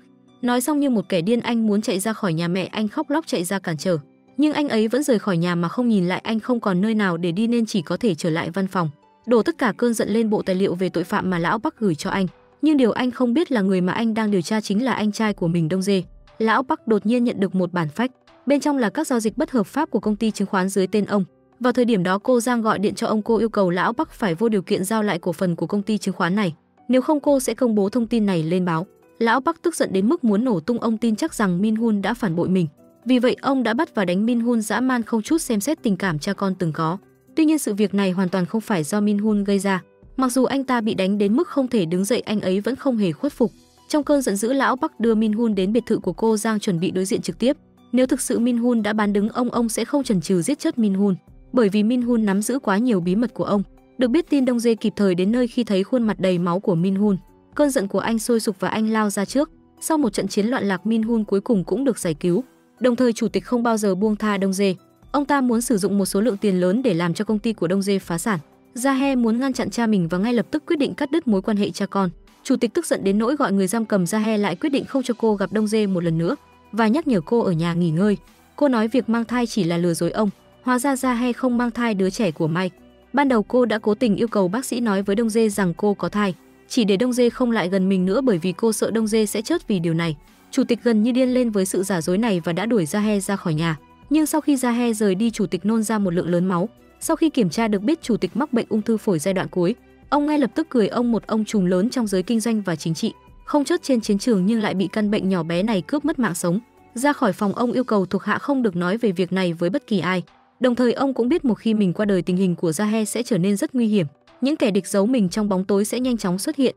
Đặc biệt là lão Bắc chủ tịch cảm thấy cần phải tìm cách loại bỏ ông ta. Đông Su sau khi rời nhà một lần nữa trở về và phát hiện Min Hun vẫn còn ở đó và không chịu đi. Sự tức giận trong lòng anh không thể kìm nén. Anh liền hỏi mẹ mình rằng giữa anh và Min Hun ai mới là con trai thực sự của bà. Đối mặt với câu hỏi khó khăn này, mẹ anh không thể nói lời nào, chỉ có nước mắt không ngừng tuôn rơi. Không nhận được câu trả lời, Đông Su thất vọng hoàn toàn anh quay lưng rời đi. Và lần này anh đã đóng gói hành lý của mình, bà mẹ nhìn theo anh với đôi mắt đẫm lệ. Đông Su luôn chờ đợi mẹ anh ngăn cản, nhưng không nhận được phản ứng nào từ bà. Sự im lặng của mẹ đã nói lên tất cả. Cuối cùng, Đông Su đã rời khỏi nhà và thuê một căn phòng nhỏ chuẩn bị bắt đầu cuộc sống một mình. Vào đêm đó, lão Bắc tìm đến Đông Su. Ông ta mua cho Đông Su một chiếc áo choàng và sau đó đưa cho anh một bộ hồ sơ. Đó là các tài liệu tội phạm của chủ tịch mà ông ta đã chi trả một số tiền lớn để mua. Miễn là có thể bắt được chủ tịch Đông Su chắc chắn sẽ nổi tiếng trong giới điều tra. Nhưng để bắt chủ tịch anh ta cần phải vượt qua ngọn núi là Đông Dê. Đối diện với cơ hội nổi tiếng này Đông Su do dự. Tuy nhiên lão Bắc lại tỏ ra rất tự tin không hề lo lắng rằng Đông Su sẽ từ chối bởi Đông Su là con ruột của mình. Trong khi đó, chủ tịch cũng đã bắt đầu hành động, ông đã mua chuộc một người thân cận của lão Bắc dù dỗ ông ta đến một bờ sông bất ngờ một nhóm người lái xe máy xuất hiện hướng thẳng vào lão Bắc. Trong tình huống không thể lùi lại, lão Bắc đã bị đẩy xuống vực. Tuy nhiên may mắn thay lão Bắc không chết Đông Su nhanh chóng đến bệnh viện, nhìn thấy người cha ruột gần như bỏ mạng. Lòng Đông Su không biết nên cảm thấy thế nào. Người dưới quyền thông báo cho Đông Su rằng họ nghi ngờ chủ tịch muốn loại bỏ lão Bắc. Trong lúc mê mệt lão Bắc không ngừng kêu tên Đông Dê, khiến Đông Su nghi ngờ có lẽ Đông Dê đã gây ra sự việc này. Tuy nhiên khi Đông Su trở về nhà anh đã chạm trán với những người của chủ tịch, nhà bị lục tung và những tài liệu tội phạm mà lão Bắc trao cho anh cũng biến mất. Anh ngay lập tức gọi điện cho Đông Dê hẹn gặp ở nhà của chủ tịch. Nhưng khi đến nhà chủ tịch anh phát hiện ra rằng anh không có bằng chứng gì. Thay vào đó anh bị chủ tịch sỉ nhục Đông Dê lập tức kéo Đông Su ra khỏi đó. và anh ta đã chút cả giận dữ lên người Đông Dê. Đông Su thừa nhận khi nhìn thấy tình trạng bi thảm của lão Bắc anh cảm thấy đau lòng. Dù sau đó vẫn là cha ruột của mình và lão Bắc cũng đã nhận được hình phạt xứng đáng. Anh không mong muốn người anh trai mình tiếp tục làm tổn thương lão Bắc. Nếu anh trai cứ tiếp tục sử dụng phương pháp đối xử ác với kẻ xấu, thì dù là anh trai của anh anh cũng sẽ bắt vào tù hai anh em hoàn toàn đã trở mặt với nhau. Chủ tịch Tài Phiệt mắc bệnh ung thư phổi và chỉ còn sống được khoảng 3 tháng. Những lực lượng dưới trướng của ông đều không yên và chuẩn bị hành động đối với con gái ông, muốn giành quyền kiểm soát tập đoàn. Chủ tịch cũng không ngờ rằng dù ông đã truyền dạy cả đời mình, bên cạnh ông không có một ai mà ông có thể tin tưởng người duy nhất còn đứng bên ông lại là Đông Dê, người mà ông đã muốn loại bỏ nhiều lần. Thực ra chủ tịch từng coi Đông Dê như con trai của mình và nuôi dưỡng anh. Tuy nhiên Đông Dê đã chọn tự lập ông yêu và hận Đông Dê cùng một lúc. Nhưng bây giờ với thời gian sống còn lại ngắn ngủi điều duy nhất mà ông không thể từ bỏ là Gia He. Ông yêu cầu Đông Dê thay mình bảo vệ Gia He, không để cô ra khỏi tầm mắt của anh. Khi biết tìm Gia He quyết định phản đối cô không muốn Đông Dê bị lôi vào, vì cô chỉ sẽ đem đến nguy hiểm cho anh. Nhưng Đông Dê lúc này kiên định hơn bao giờ hết. Anh đã mất Gia He quá nhiều lần và lần này dù thế nào anh cũng không bao giờ buông tay. Ngay cả khi Gia He đang mang thai đứa trẻ của Mike anh không quan tâm đến tất cả những điều đó. Lão Bắc cuối cùng cũng xuất viện bên cạnh ông là con trai ruột của mình. Đông Su người đã mất tích suốt 30 năm trong lòng lão Bắc cảm thấy vô cùng mãn nguyện. Con trai ruột cuối cùng cũng trở về bên ông, con dâu của ông cũng rất thông minh và giỏi cô Giang, và cả hai còn từng là tình nhân của nhau. Lão Bắc nắm bắt cơ hội này để đề nghị hai người chọn một ngày nào đó để kết hôn. Một gia đình đông đủ hạnh phúc chính là điều tuyệt vời nhất. Đông Su cũng đồng ý tất cả những gì mà anh đã mất cho Min Hun giờ đây phải trở về vị trí cũ của nó. Han Ji không nói gì coi như đồng ý với lời của Đông Su. Tuy nhiên trong lòng anh có một cảm giác phức tạp mà không thể diễn tả được. Nhưng ngay sau khi Đông Su trở lại văn phòng, Bộ trưởng đề xuất loại Đông Su ra khỏi cuộc điều tra liên quan đến chủ tịch. Lý do là lo ngại Đông Su sẽ thiên vị và bảo kê vì Đông Dê điều mà Đông Su sợ nhất cuối cùng cũng đã đến. Anh trai cuối cùng cũng trở thành chứng ngại trên con đường sự nghiệp của mình. Để chứng minh lòng chính trực của mình, anh ngay lập tức bày tỏ với bộ trưởng rằng nếu anh trai của mình thực sự có hành vi phạm tội, anh sẽ tự mình đặt cọng lên tay anh trai. Vì hồ sơ tội ác của chủ tịch đã bị đánh cắp, anh gọi điện cho lão Bắc hỏi ông có bản sao của tài liệu đó không và yêu cầu ông giao bản sao cho mình. Anh cam kết sẽ đưa chủ tịch và Đông Dê vào tù không ngờ lão Bắc thực sự có một bản sao. Ông đã cười đến nỗi không thể kiềm lại được, bởi vì cuối cùng con trai mình cũng đã đứng về phía mình. Chủ tịch và Zahe đã bị bắt cóc khỏi bệnh viện kẻ địch đã dùng mạng sống của chủ tịch để đe dọa, ép Zahe tuyên bố từ bỏ quyền quản lý tập đoàn. Tuy nhiên ngay khi Zahe sắp tuyên bố từ chức Đông Dê đột nhiên đẩy chủ tịch vào phòng. Hóa ra sau khi biết hai người bị bắt cóc Đông Dê ngay lập tức dẫn người giải cứu chủ tịch. Khi chủ tịch xuất hiện tất cả các thành viên đều sợ hãi. Chủ tịch ngay lập tức tuyên bố sẽ chuyển quyền kế vị cho Đông Dê. Zahe lại một lần nữa phản đối quyết định của cha mình bởi cô biết dù là ai ngồi lên vị trí này, họ chắc chắn sẽ rơi vào vòng nguy hiểm không kết thúc. Và chính lúc đó, chủ tịch tiết lộ với Đông Dê rằng Jahe đã giả vờ mang thai. Tất cả chỉ là lời nói dối của cô để bảo vệ Đông Dê. Đông Dê không giữ được nước mắt, chủ tịch nói với Đông Dê rằng, từ giờ trở đi, ông thực sự giao Jahe và tất cả những gì mình có cho anh và nhắc nhở anh phải quản lý công ty tốt, đừng làm những việc dính máu nói xong ông ngất đi. Jahe và Đông Dê đã đưa chủ tịch vào bệnh viện. Thấy Đông Dê vẫn không rời đi Jahe lập tức muốn đuổi anh ra khỏi đó. Đông Dê đã lợi dụng cơ hội này để bày tỏ tình cảm trong lòng mình với Gia He. Em trai trở thành một công tố viên còn anh trai lại kế nghiệp một sự nghiệp đen tối ở sòng bạc. Đông Su gần như tức điên lên bởi vì anh đang điều tra vụ tiền bí mật của sòng bạc. Điều này cũng có nghĩa là anh trai đã chọn đứng ở phía đối diện với mình. Bộ trưởng để đảm bảo tính công bằng và minh bạch của viện kiểm sát, một lần nữa đã đề xuất việc điều chuyển Đông Su đi và sự nghiệp làm công tố viên của Đông Su cũng sẽ kết thúc từ đây. Đông Su lập tức từ chối lệnh của bộ trưởng, một lần nữa khẳng định rằng anh chắc chắn sẽ bắt Đông Dê đến trước mặt mình. Lão Bắc biết rằng tình hình của con trai mình không mấy sáng sủa, nên đã sử dụng một nửa cổ phiếu của công ty như một điều kiện để dụ dỗ một cổ đông thuộc phe của chủ tịch công bố những tội ác từng gây ra bởi chủ tịch. Ông muốn tận dụng cơ hội này để giúp Đông S được công nhận và nuôi dưỡng anh trở thành công tố viên nổi tiếng nhất trong nước. Tuy nhiên cuộc trò chuyện giữa hai người đã được ghi lại. Nhờ lời tố cáo này, Đông Su đã bắt giữ hàng chục quan chức cao cấp có mối quan hệ mật thiết với chủ tịch. Anh ấy do đó trở thành hình mẫu công lý của công chúng. Cùng lúc đó, Đông Dê nhận được cuộc gọi từ em trai Đông Su. Đông Su thông báo rằng vào ngày mai sớm anh sẽ triệu tập chủ tịch, nhưng chủ tịch giờ chỉ còn một hơi thở thậm chí không thể rời giường. Đông Su nghĩ rằng người anh trai của mình đang cố tình tạo điều kiện cho chủ tịch và lập tức bày tỏ rằng nếu chủ tịch không tiện di chuyển anh sẽ tự mình đến đón. Tuy nhiên chính lúc này Hanji đã rơi vào cuộc điều tra trốn thuế của công ty và lão Bắc đang giới thiệu cho Đông Su một cô gái là con của quan chức cao cấp. Cuộc điều tra lần này rõ ràng do ông ấy tự mình sắp đặt nhằm giải phóng vị trí con dâu và chuẩn bị từ bỏ Hanji người trợ lý từng rất đắc lực của mình. Nếu kiểm soát viên Đông Su có thể kết hôn với tiểu thư của thủ tướng, đó sẽ là một sự kiện lớn cho cả quốc gia. Hanji sau khi nghe trộm tất cả mọi thứ đã hoàn toàn mất hy vọng. Ngày hôm sau Đông Su vội vàng điều một chiếc xe cứu thương tới nhà chủ tịch. Rõ ràng anh ta đã quyết tâm đưa chủ tịch đi hai anh em từng là bạn thân giờ trở thành kẻ thù. Gặp lại nhau để cản trở Đông Su Đông Dê đã phát một đoạn ghi âm cho anh. Trước khi đoạn ghi âm kết thúc Đông Su đã xé nát nó. Anh ấy chưa bao giờ nghĩ rằng sự thành công của mình lại được mua bằng tiền. Đông Dê không để anh ta đưa chủ tịch đi đã dùng việc công bố đoạn ghi âm này làm đòn đe dọa nhưng cũng vô ích Đông Su đã ép buộc người đưa chủ tịch ra khỏi phòng. Sau một loạt các sự kiện chủ tịch rõ ràng không còn nhiều thời gian, ông đã nhắc nhở hai người sau này nhất định phải sống tốt. Lúc này chủ tịch dường như thấy hình ảnh con gái mình và Đông Dê bước vào lễ cưới. Chủ tịch cuối cùng đã nói một câu xin lỗi sau đó đã hoàn toàn rời khỏi thế giới này. Khi thấy chủ tịch đã mất Đông Su rất ngạc nhiên. Đông Dê không thể chịu đựng nổi nữa anh đã đấm mạnh vào mặt Đông Su. Anh không thể tin rằng đứa em trai mà mình từng yêu thương nay lại trở nên tàn nhẫn như vậy. Ở một khía cạnh khác người cha đã chi trả một khoản tiền lớn để mua chứng cứ phạm tội cho con. Ai ngờ quá trình giao dịch lại bị người ta quay lén. Một khi bị công khai uy tín mà Đông Su vừa xây dựng sẽ tan biến, thậm chí cả bộ đồng phục này cũng không chắc đã giữ được. Lão Bắc bảo Đông Su yên tâm vì ông đã có biện pháp cho vụ này. Ông ta trực tiếp ra lệnh bắt cóc Gia He ngay trước mặt Đông Su. Chỉ cần Gia He nằm trong tay họ Đông Dê sẽ không thể tạo ra bất kỳ sóng gió nào. Một viên kiểm sát luôn nói về công lý biết rõ cha mình đang phạm tội nhưng anh ấy lại không ngăn cản, vì điều này liên quan đến lợi ích của chính anh. Tuy nhiên Đông Dê biết lão Bắc chắc chắn sẽ không tha cho mình. Đông Dê đã sớm trốn đi từ cửa sau lão Bắc tức giận đến mức mặt mình xanh mét. Ông ta lập tức ra lệnh dù sử dụng bất kỳ biện pháp nào cũng phải tiêu diệt Đông Dê. Tuy nhiên khi ông ta cảm thấy bế tắc mẹ của Đông Dê đột nhiên tìm đến, hóa ra sau khi Hanji bị lão bắt bỏ rơi cô ấy đã bị giam vào tù. Min Hun không nỡ nhìn người mình yêu sâu đậm như vậy bị tống vào ngục, và hơn nữa đứa con của anh cũng cần có mẹ chăm sóc nên đã tự nguyện chịu tất cả tội lỗi thay cho Hanji. Mẹ biết Min Hun đã vào tù ngay lập tức đã tìm đến lão Bắc, muốn tìm một lời giải thích. Lão Bắc tức phì cười cười về sự tự cao tự đại của người phụ nữ này và lập tức gửi thông điệp cho Đông Dê rằng, nếu muốn cứu mẹ mình chỉ trong một giờ mang theo tất cả các băng ghi âm đến biệt thự ở ngoại ô. Đông Dê gần như đã điên lên với cơn giận anh ta gọi cho Đông Su. Cả hai cùng nhau đến biệt thự Đông Dê lập tức lấy ra băng ghi âm. Ban đầu anh chỉ muốn đe dọa Đông Su một chút, anh chưa bao giờ nghĩ đến việc công khai nó. Đông Dê ngay lập tức nói rằng anh không biết gì cả, tất cả đều là hành động cá nhân của lão Bắc. Khi vào biệt thự và thấy mẹ mình không bị thương, hai người mới thở phào nhẹ nhõm. Đông Su vừa muốn tức giận với lão Bắc thì mẹ đã ngắt lời. Cô ấy bảo Đông Dê lấy ra băng ghi âm vì Min Hun vẫn đang bị giam giữ trong tù. Còn lão Bắc đã hứa chỉ cần Đông Dê giao nộp băng ghi âm, ông ta sẽ tìm cách giải cứu Min Hun. Đông Dê lập tức tiêu hủy băng ghi âm thứ này đối với anh không còn giá trị gì nữa. Dù Đông Su có làm gì, anh cũng không bao giờ sử dụng những thủ đoạn đê tiện như thế với người em trai từng thân thiết nhất của mình. Nhìn vào hai anh em giờ đây trở thành kẻ thù của nhau, mẹ họ cuối cùng cũng nhận ra sai lầm của mình. Vì một mối thù hận mà hai anh em từng tình cảm sâu đậm lại trở thành kẻ thù lớn nhất của nhau đã đến lúc phải buông bỏ. Mẹ biết Đông Su có tham vọng muốn thành công còn Đông Dê muốn trả thù cho cha. Hai anh em không tránh khỏi một cuộc đối đầu. Vì thế bà yêu cầu Đông Dê thề trước mặt mình rằng sẽ không bao giờ trả thù lão Bắc nữa. Anh sống cuộc sống của anh, Đông Su sống cuộc sống của mình, đừng quấn quýt nữa, đừng cãi vã nữa. Tình anh em giữa hai người nên kết thúc ở đây. Đông Dê khóc lóc hứa sẽ làm như vậy, còn Đông Su thì đã từ lâu rơi lệ như mưa. Một tình nghĩa anh em 30 năm cũng chính trong khoảnh khắc này đã chấm dứt hoàn toàn. Như những người của lão Bắc đã làm trò oan nghiệt với chiếc xe của Đông Dê.